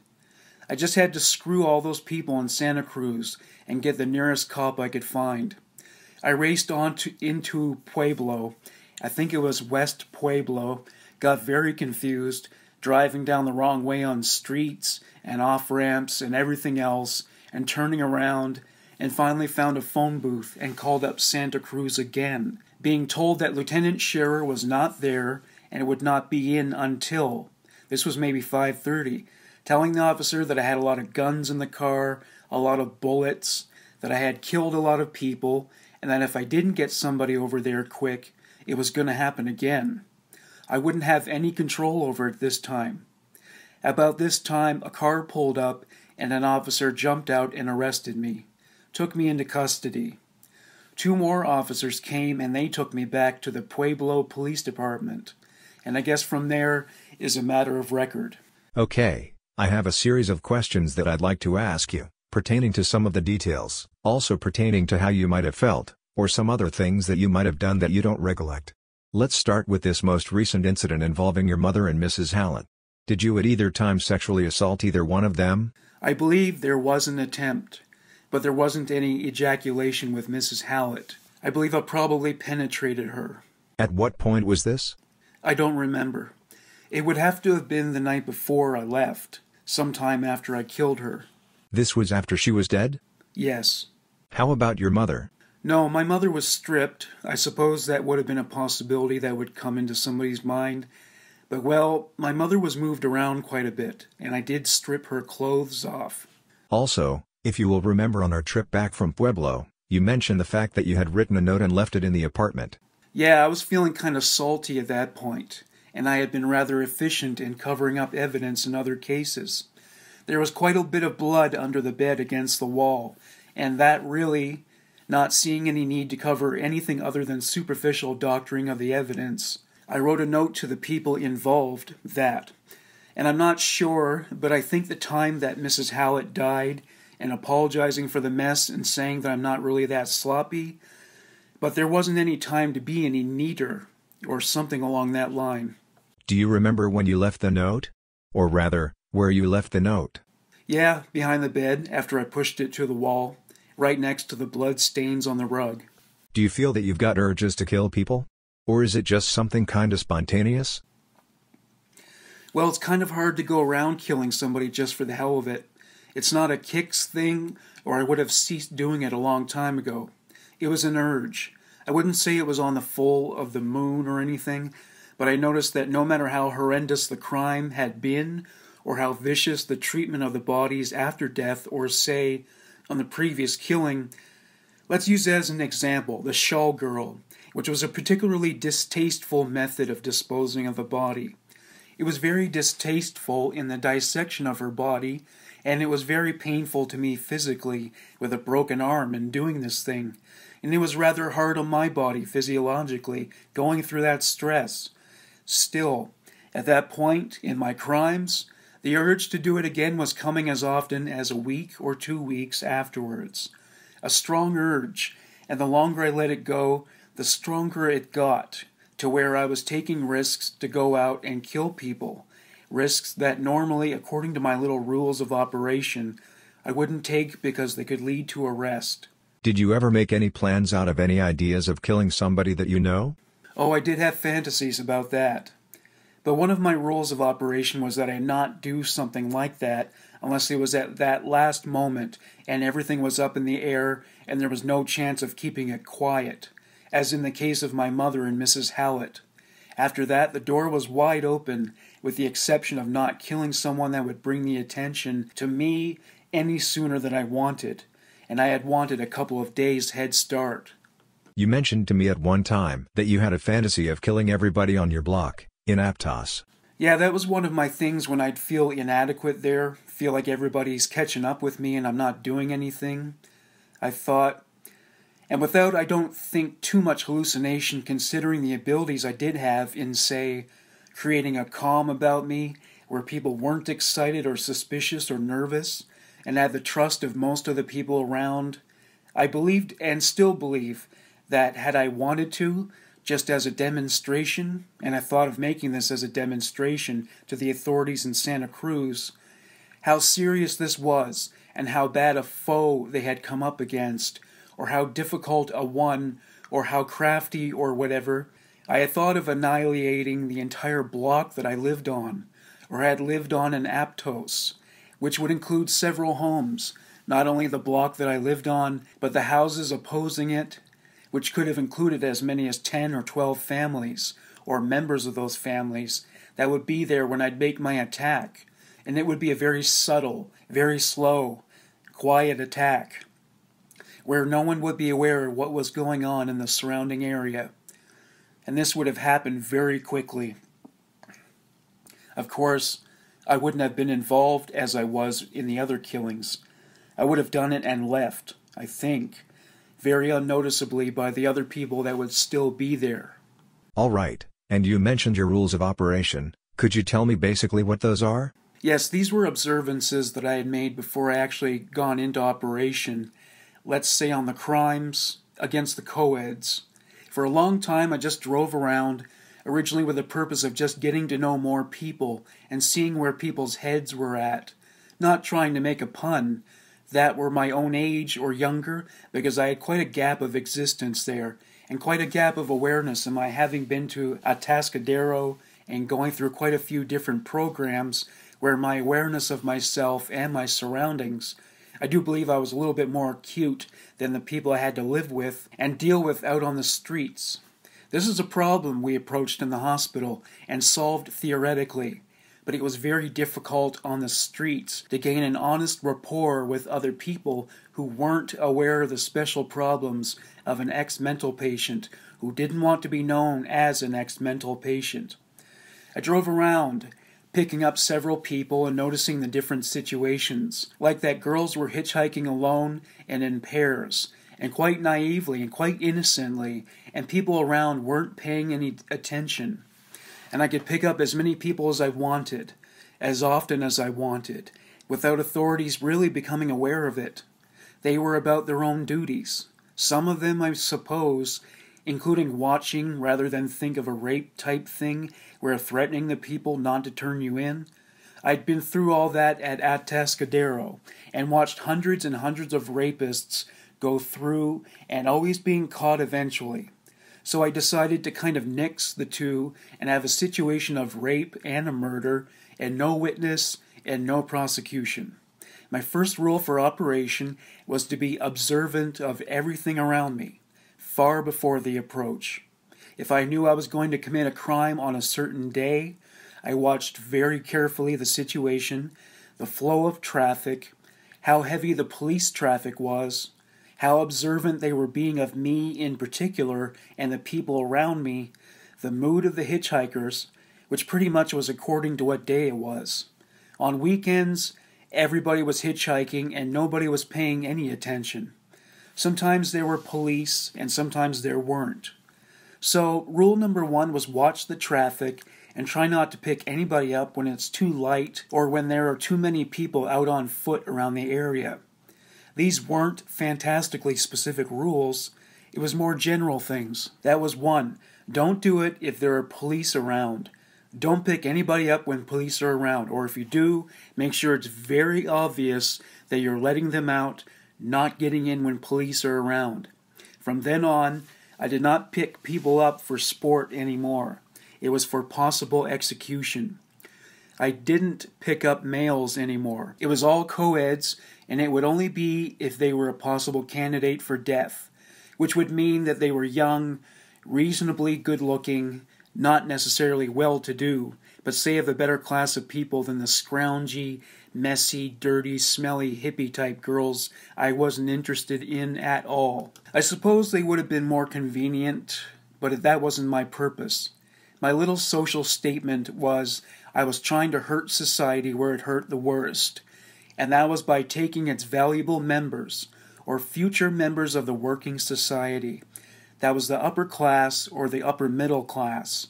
What I considered to be snobby or snotty brat or person that was actually then ended up later being better equipped to handle a living situation than I was and have more happily adjusted.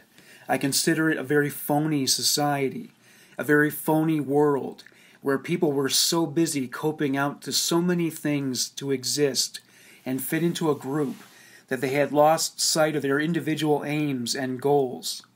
I had become completely lost and very bitter about what I consider these phony values and phony existences, and decided I was going not necessarily to weed things out, because I would have ended up killing most of the world if I weeded out, but I was striking out at what was hurting me the worst, which was the area. I guess down deep, I wanted to fit in the most, and I had never fit in. And that was the group, the in group. Like I said about these rules, one was before the ones I've mentioned. I would not circle back if I saw a good prospect. I would not circle back to pick her up unless it was really hurt on a limb and I hadn't run into anybody all week. There was a couple of exceptions to that rule, like their first killings. I had turned around a couple of blocks up, but I realized then I was really sticking my neck out and being obvious to several people. I was quite lucky nobody noticed or had it stick in their mind, but I did turn around and go back and pick up those girls. Besides, they could notice me doing it, and if they did refuse the ride, there would be a possible witness to a future crime for the police to work on. Realizing they couldn't come grab me, they could start watching me and I wouldn't necessarily know it. So, to be inconspicuous as possible was the order of the day. I had no wild things on my car, no wild clothes, no flashy driving. It was all strictly down the line, very casual, very relaxed, smiling, only when I had approached the girls, because to sit around smiling a lot in a car would draw a notice every now and then. I wanted to be absolutely nondescript. Being six nine, it's difficult. But sitting in the car with lots of leg room, I was able to scrunch down enough to where not even the passengers in the car would realize how tall I was. Other rules were that I would take no chances that I didn't absolutely have to take, which meant mostly condescending or ascending to the wishes of the victims before their deaths, which would always be to their benefit. Their requests and their pleas would be to their benefit, and not to my own, no matter how good it sounded.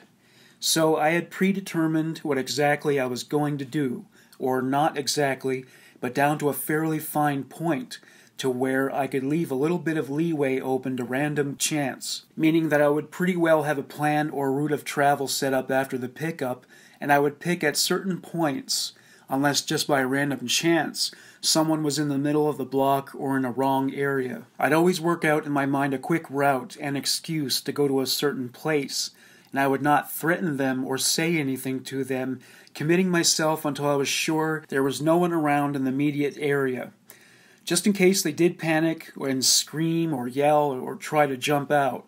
I always locked the door from the inside by placing the broken window turning knob from my side of the door into the opening mechanism on the passenger side, which was not accessible from the inside of the car. And I would open the door from the inside for these people to show the lock right after opening it. And they'd never try it after they get in. They would just get in and that would be that. Oh, I would not produce the weapon. Usually it was always a gun.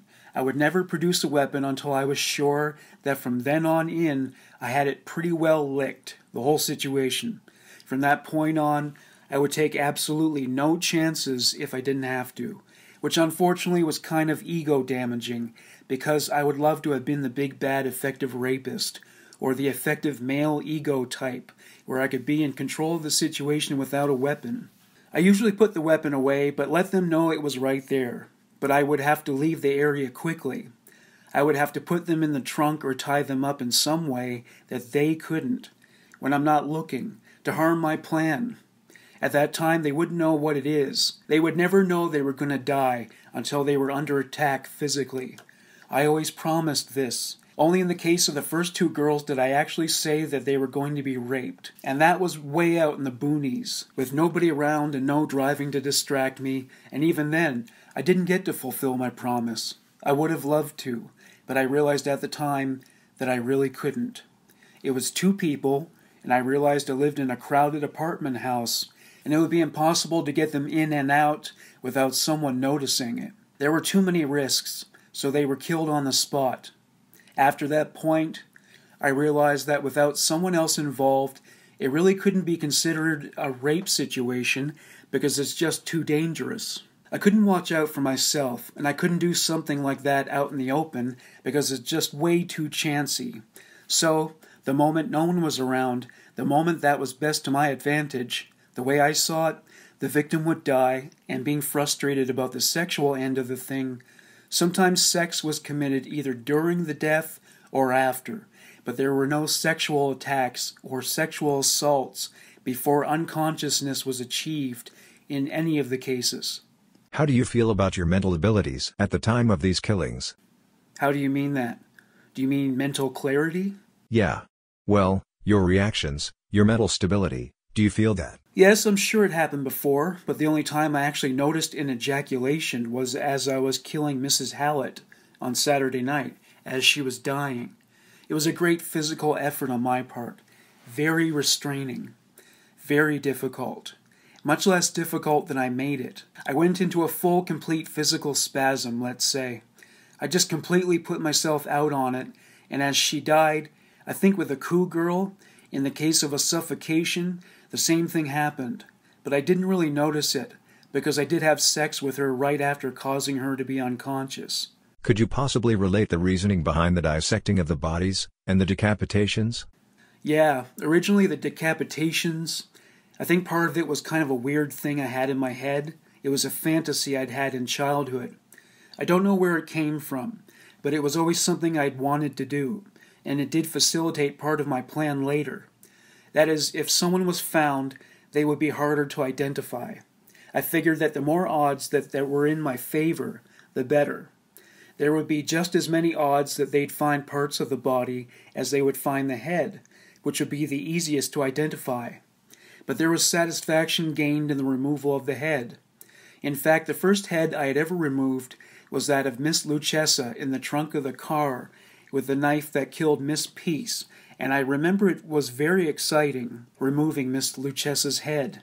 There was actually a sexual thrill, and in fact, there was almost a climax to it.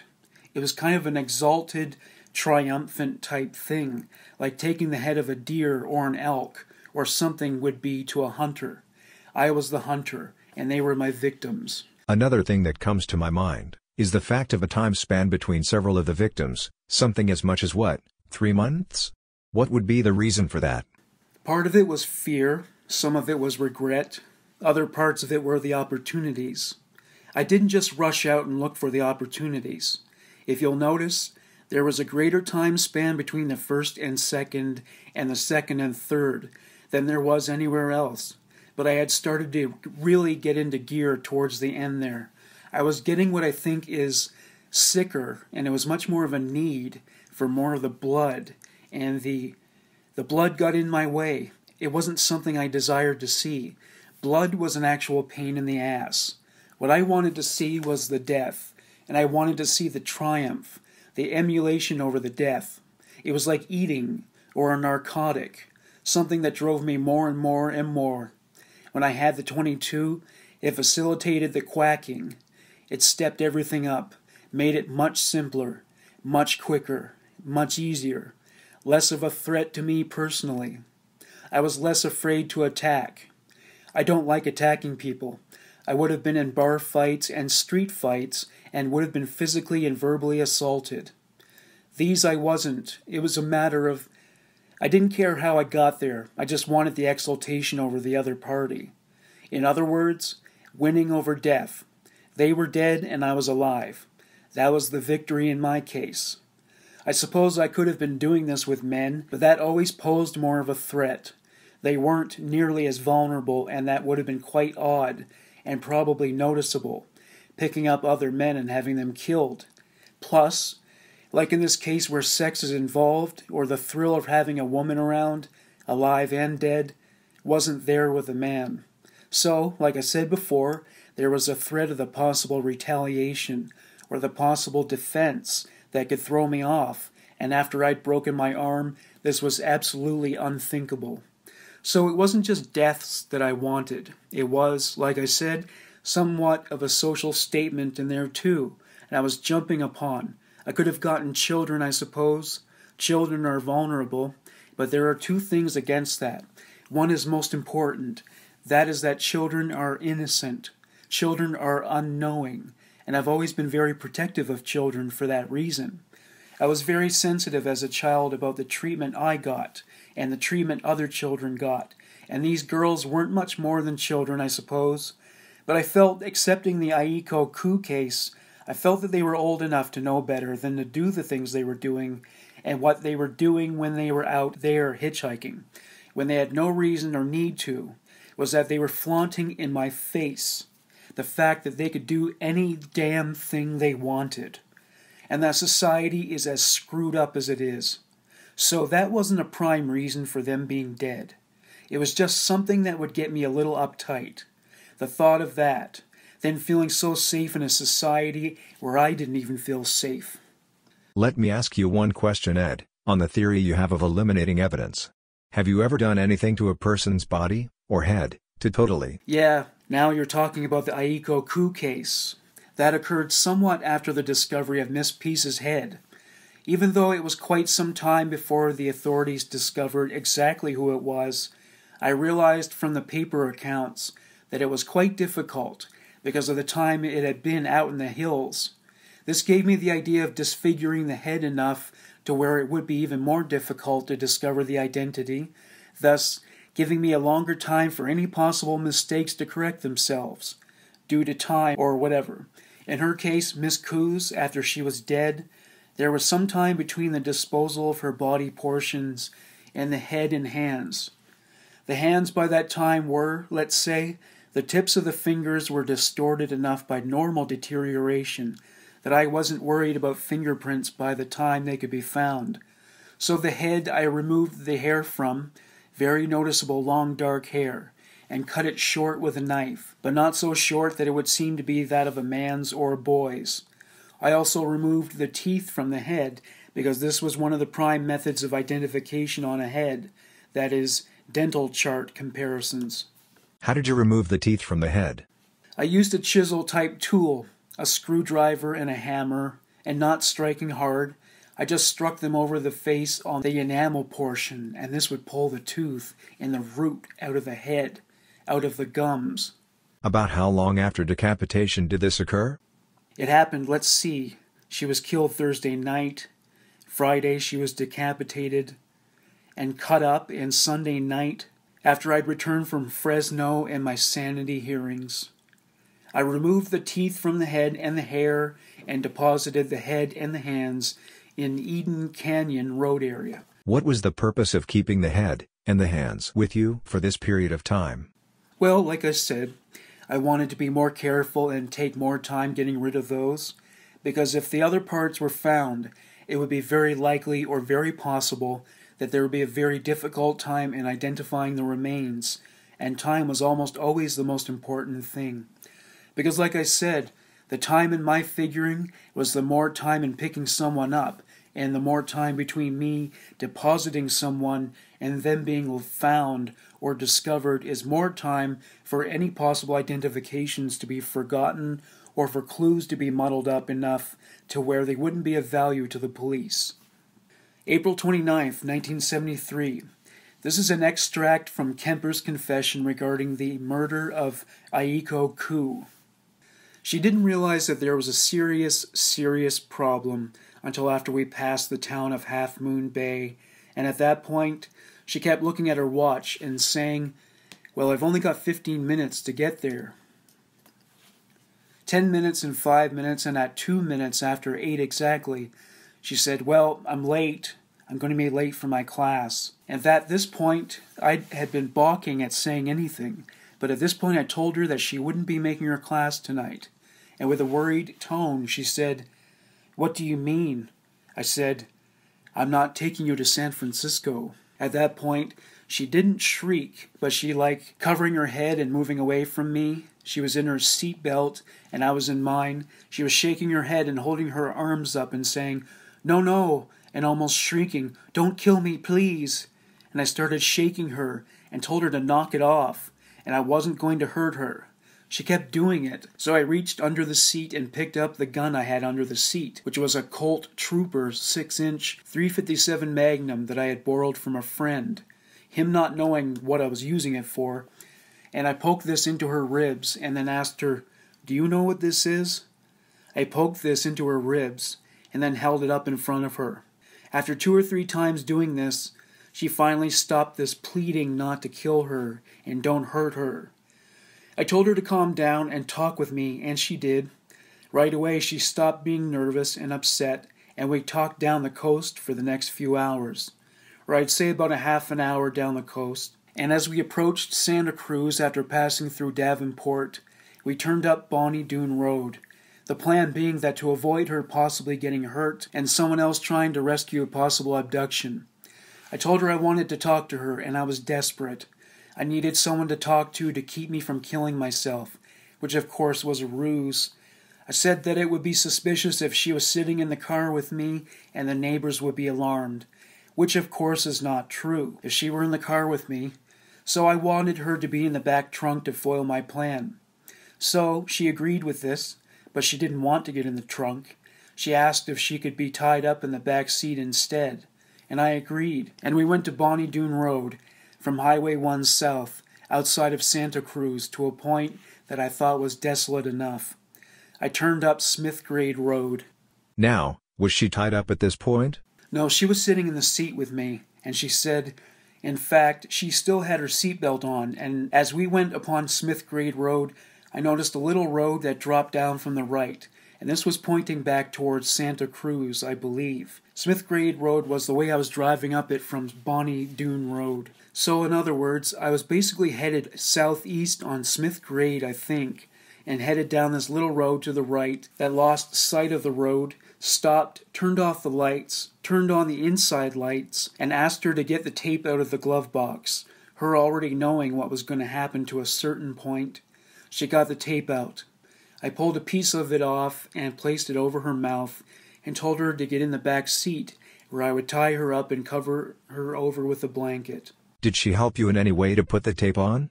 Yeah, she got it out of the glove box for me, and when I pulled the tape open and tore off a piece, I placed it over her mouth and rubbed it on nice and tight, and got it on straight and everything, and asked her to blow against it and move her mouth around to see if it would come off, and she assured me it wouldn't following my instructions to the letter. I asked her to jump over the back seat, and she did. Then she went back over to the back seat and lay down on her back. At any rate, I got out of the car on my side, leaving the gun under the front seat on the driver's side, got out of my car, walked around to her side, and realized that the keys being in my pocket, she had locked her side of the door when she got in, and it was still locked. At this point, I started fumbling in my pants, trying to get the key out quickly before she realized the advantage she had, and when she saw that I was fumbling for the keys, she climbed back over the seat and flipped up the inside lock on her side, letting me in. At this time, I moved the front seat forward and flipped the twin cushion front seat, flipped her cushion forward, climbed in the back seat. She was lying on her back, with her hands across her stomach to be tied, and I asked her to turn over on her stomach, and she did, and put her hands behind her back. At this time, I tied her hands and I took a lot of time doing it because I was realizing that as soon as I was done tying her hands, that I had to kill her or else take a chance on driving around town where someone could see her moving around under a blanket or someone could stop me for a routine stop because my left tail light had been smashed out in an accident. And I did not want to be stopped for any reason with her in the back seat in her condition. So I fumbled around at tying her hands when I finally realized I was wasting my time and needed to get the thing done if I was going to do it. I turned wherever back gently on her back as if I were going to place the blanket over her and started to place my body over hers, on top of hers actually. Placed my right hand firmly over her mouth from the right side. She was slightly curious at that point, wondering what I was doing, not at all worried or panicked. I then took my left hand, the thumb and index finger, reached around over her head, and plugged both nostrils, pressed both nostrils closed, and for a moment there was actually no change in expression. Then she realized what was happening and she went berserk. She completely panicked and struggled violently for what I can only imagine to be a half of a minute, maybe 45 seconds, until she lost consciousness, possibly longer. But I don't think so because when I got up on her body, I heard quite an amount of wind being pushed out of her lungs by my weight, and I did not notice her sucking in a lot of air after that. How did she struggle in this 45 seconds? Very violently, her hands not being tied closely together. I tied her wrists separately by knots, and there was approximately six to eight inches of string or cord between the two knots, the two wrists. This gave her enough room to reach around her side and flip partially over on her side. Reach, and she grabbed at my testicles and penis in an effort to get me off and make me release her nostrils. Was she successful? She was at first, and I guess she didn't realize that she got me where she did. She kept grabbing and probing, and I think two or three times she grabbed me by the testicles or by the penis, and I broke away with that portion of my body and scooted it further down towards her legs, which means that less of my weight was positioned over her body, and her violent struggle got even more violent, and she moved around all over my back seat, kicking at the cushion on the far side, under the rear window, and kicking at the window right over her head, even. I was trying to stay out of the way while this was going on with a major portion of my body, but I never let go of the grip on her nostrils or the tape over her mouth, and when the struggle stopped and she collapsed into the seat, I waited a few moments and then released her, leaving the tape on. You mean you released her nose? I released her nostrils, and she apparently was still breathing, but unconscious. At that time, I opened her right eyelid, I imagine, with my left hand, to see how unconscious she was, how much eye movement there was, and there was, I guess, a nominal amount of eye movement.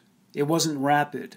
So apparently she was what I thought deep asleep or unconscious, and after a few moments of watching this, the eye movement, the eye zeroed in on me, and then her other eye thrust open, and she started her movement again. For a moment, she just looked at me, and I guess she became conscious enough to where she remembered what was happening and went right back into the extreme panic she had been in. And the whole process started over again for just about the same amount of time, identical to the other 45 seconds. Every move, I mean, still grabbing at my testicles and still grabbing at my body. What did you do? Were you still pinching her nose? Yes, this time I held her nose until all of the voluntary breathing was done. She was into great deep gasps with her lungs. Her back was arching, unconscious, but the breaths became fewer and far between, and she was still in a spasm type breathing. Did you still have your fingers over her nose? Yes, and at that point I stopped because I knew she wouldn't wake up soon. I picked her up from the back seat, took her out of the car, around the back behind the trunk, thrust her body down on her back on the ground, and pulled her pants down violently, not removing them, but pulling them down below the crotch area, and spread her legs apart and forced sexual intercourse on her. And I achieved orgasm, and I guess it was in 15 or 20 seconds. It was very quick. At that time, I noticed her hair falling over her face and nose. She was still breathing and starting to breathe again. I took the muffler that she had around her neck still and just wrapped it very tight and tied a knot in it, and her hands were still tied behind her back, and the tape was still over her mouth.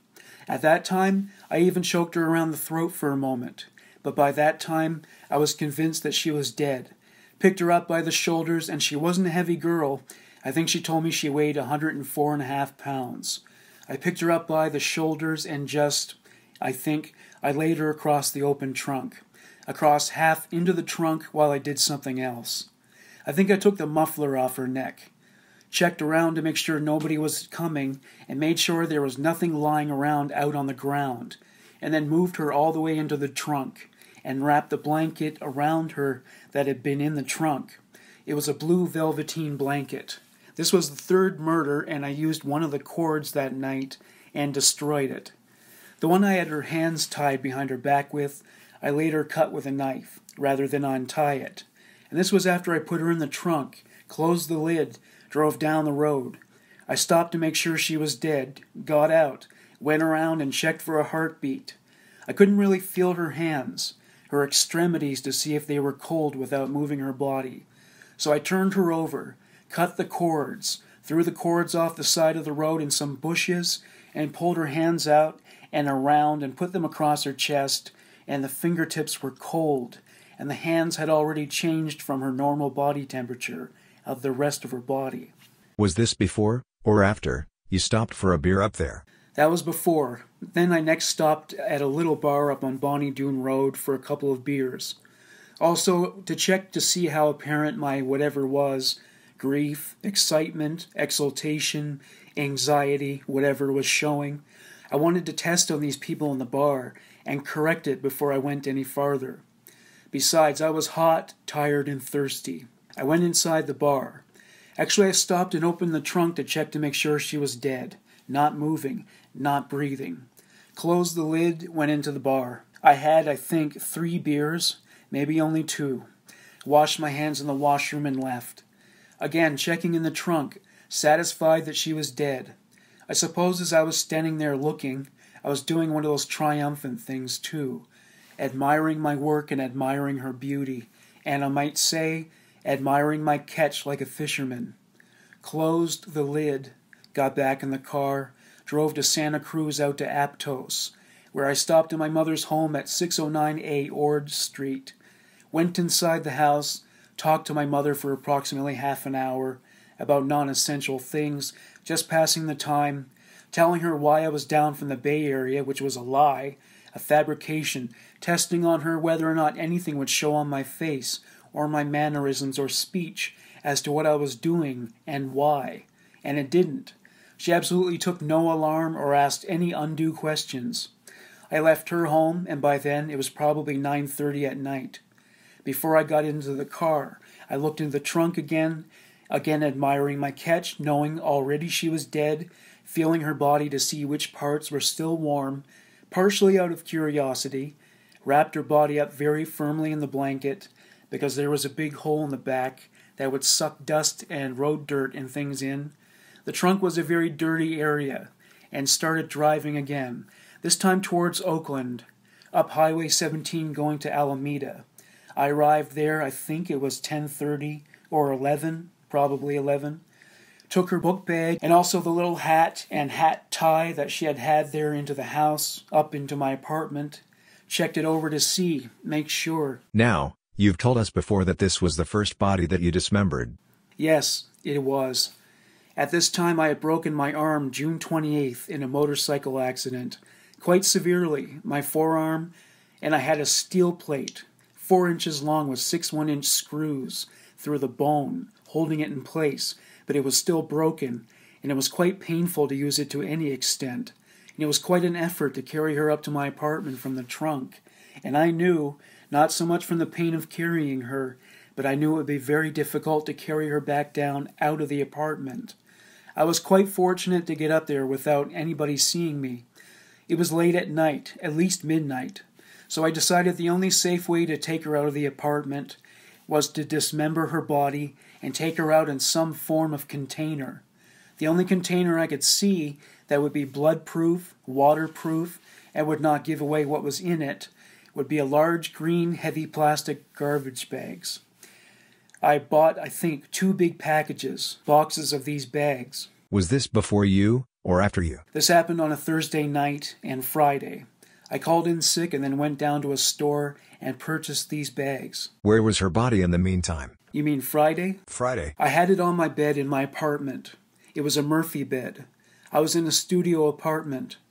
I hid the body well in several places. I had it on the couch laying down and on the bed, and possibly at one time in the closet in case someone would come up there when I was gone. Had the body, in any way, been dismembered at this point? No. Did it have any clothes on? No. Regarding the confession tapes, Kemper was asked about the effects of playing them in court.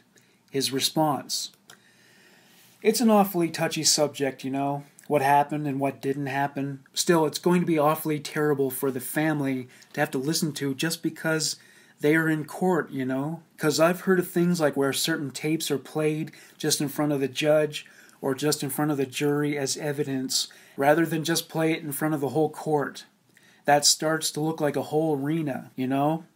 And everybody is in there to hear all the gory details. That would get me very upset, and I'd probably ask to leave the court. The judge would say, No, you're going to sit there and listen.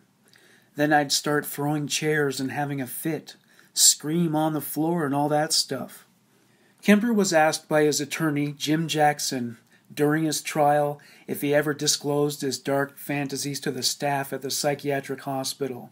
He said, No, I would never have got out if I had told psychiatrists I was having fantasies of sex with dead bodies and, in some cases, eating them.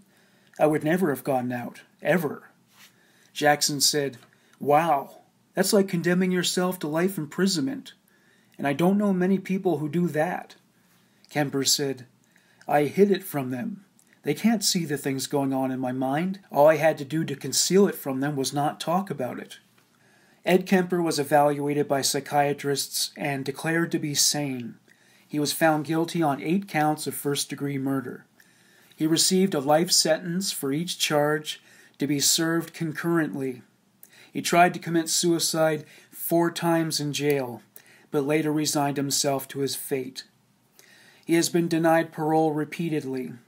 His next parole hearing is in 2024 when he will be 75 years old. Ed Kemper lives in the general population and has been described as a model prisoner.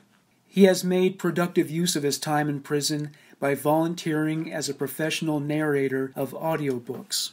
Including among the titles are Flowers in the Attic, The Glass Key, The Rosary Murders, and the novelization of Star Wars. Many of these audiobooks are enjoyed by the blind. I have known many blind people, but I have always neglected to mention that these stories may have been read to them by a serial killer. In particular, I concealed this information from the blind women I knew. However valuable this public service may be, keep in mind that he is still the guy who said, One side of me says, Wow, what an attractive chick. I'd like to talk to her, date her. The other side of me says, I wonder how her head would look on a stick. Thank you for listening to Human Monsters. Bye for now.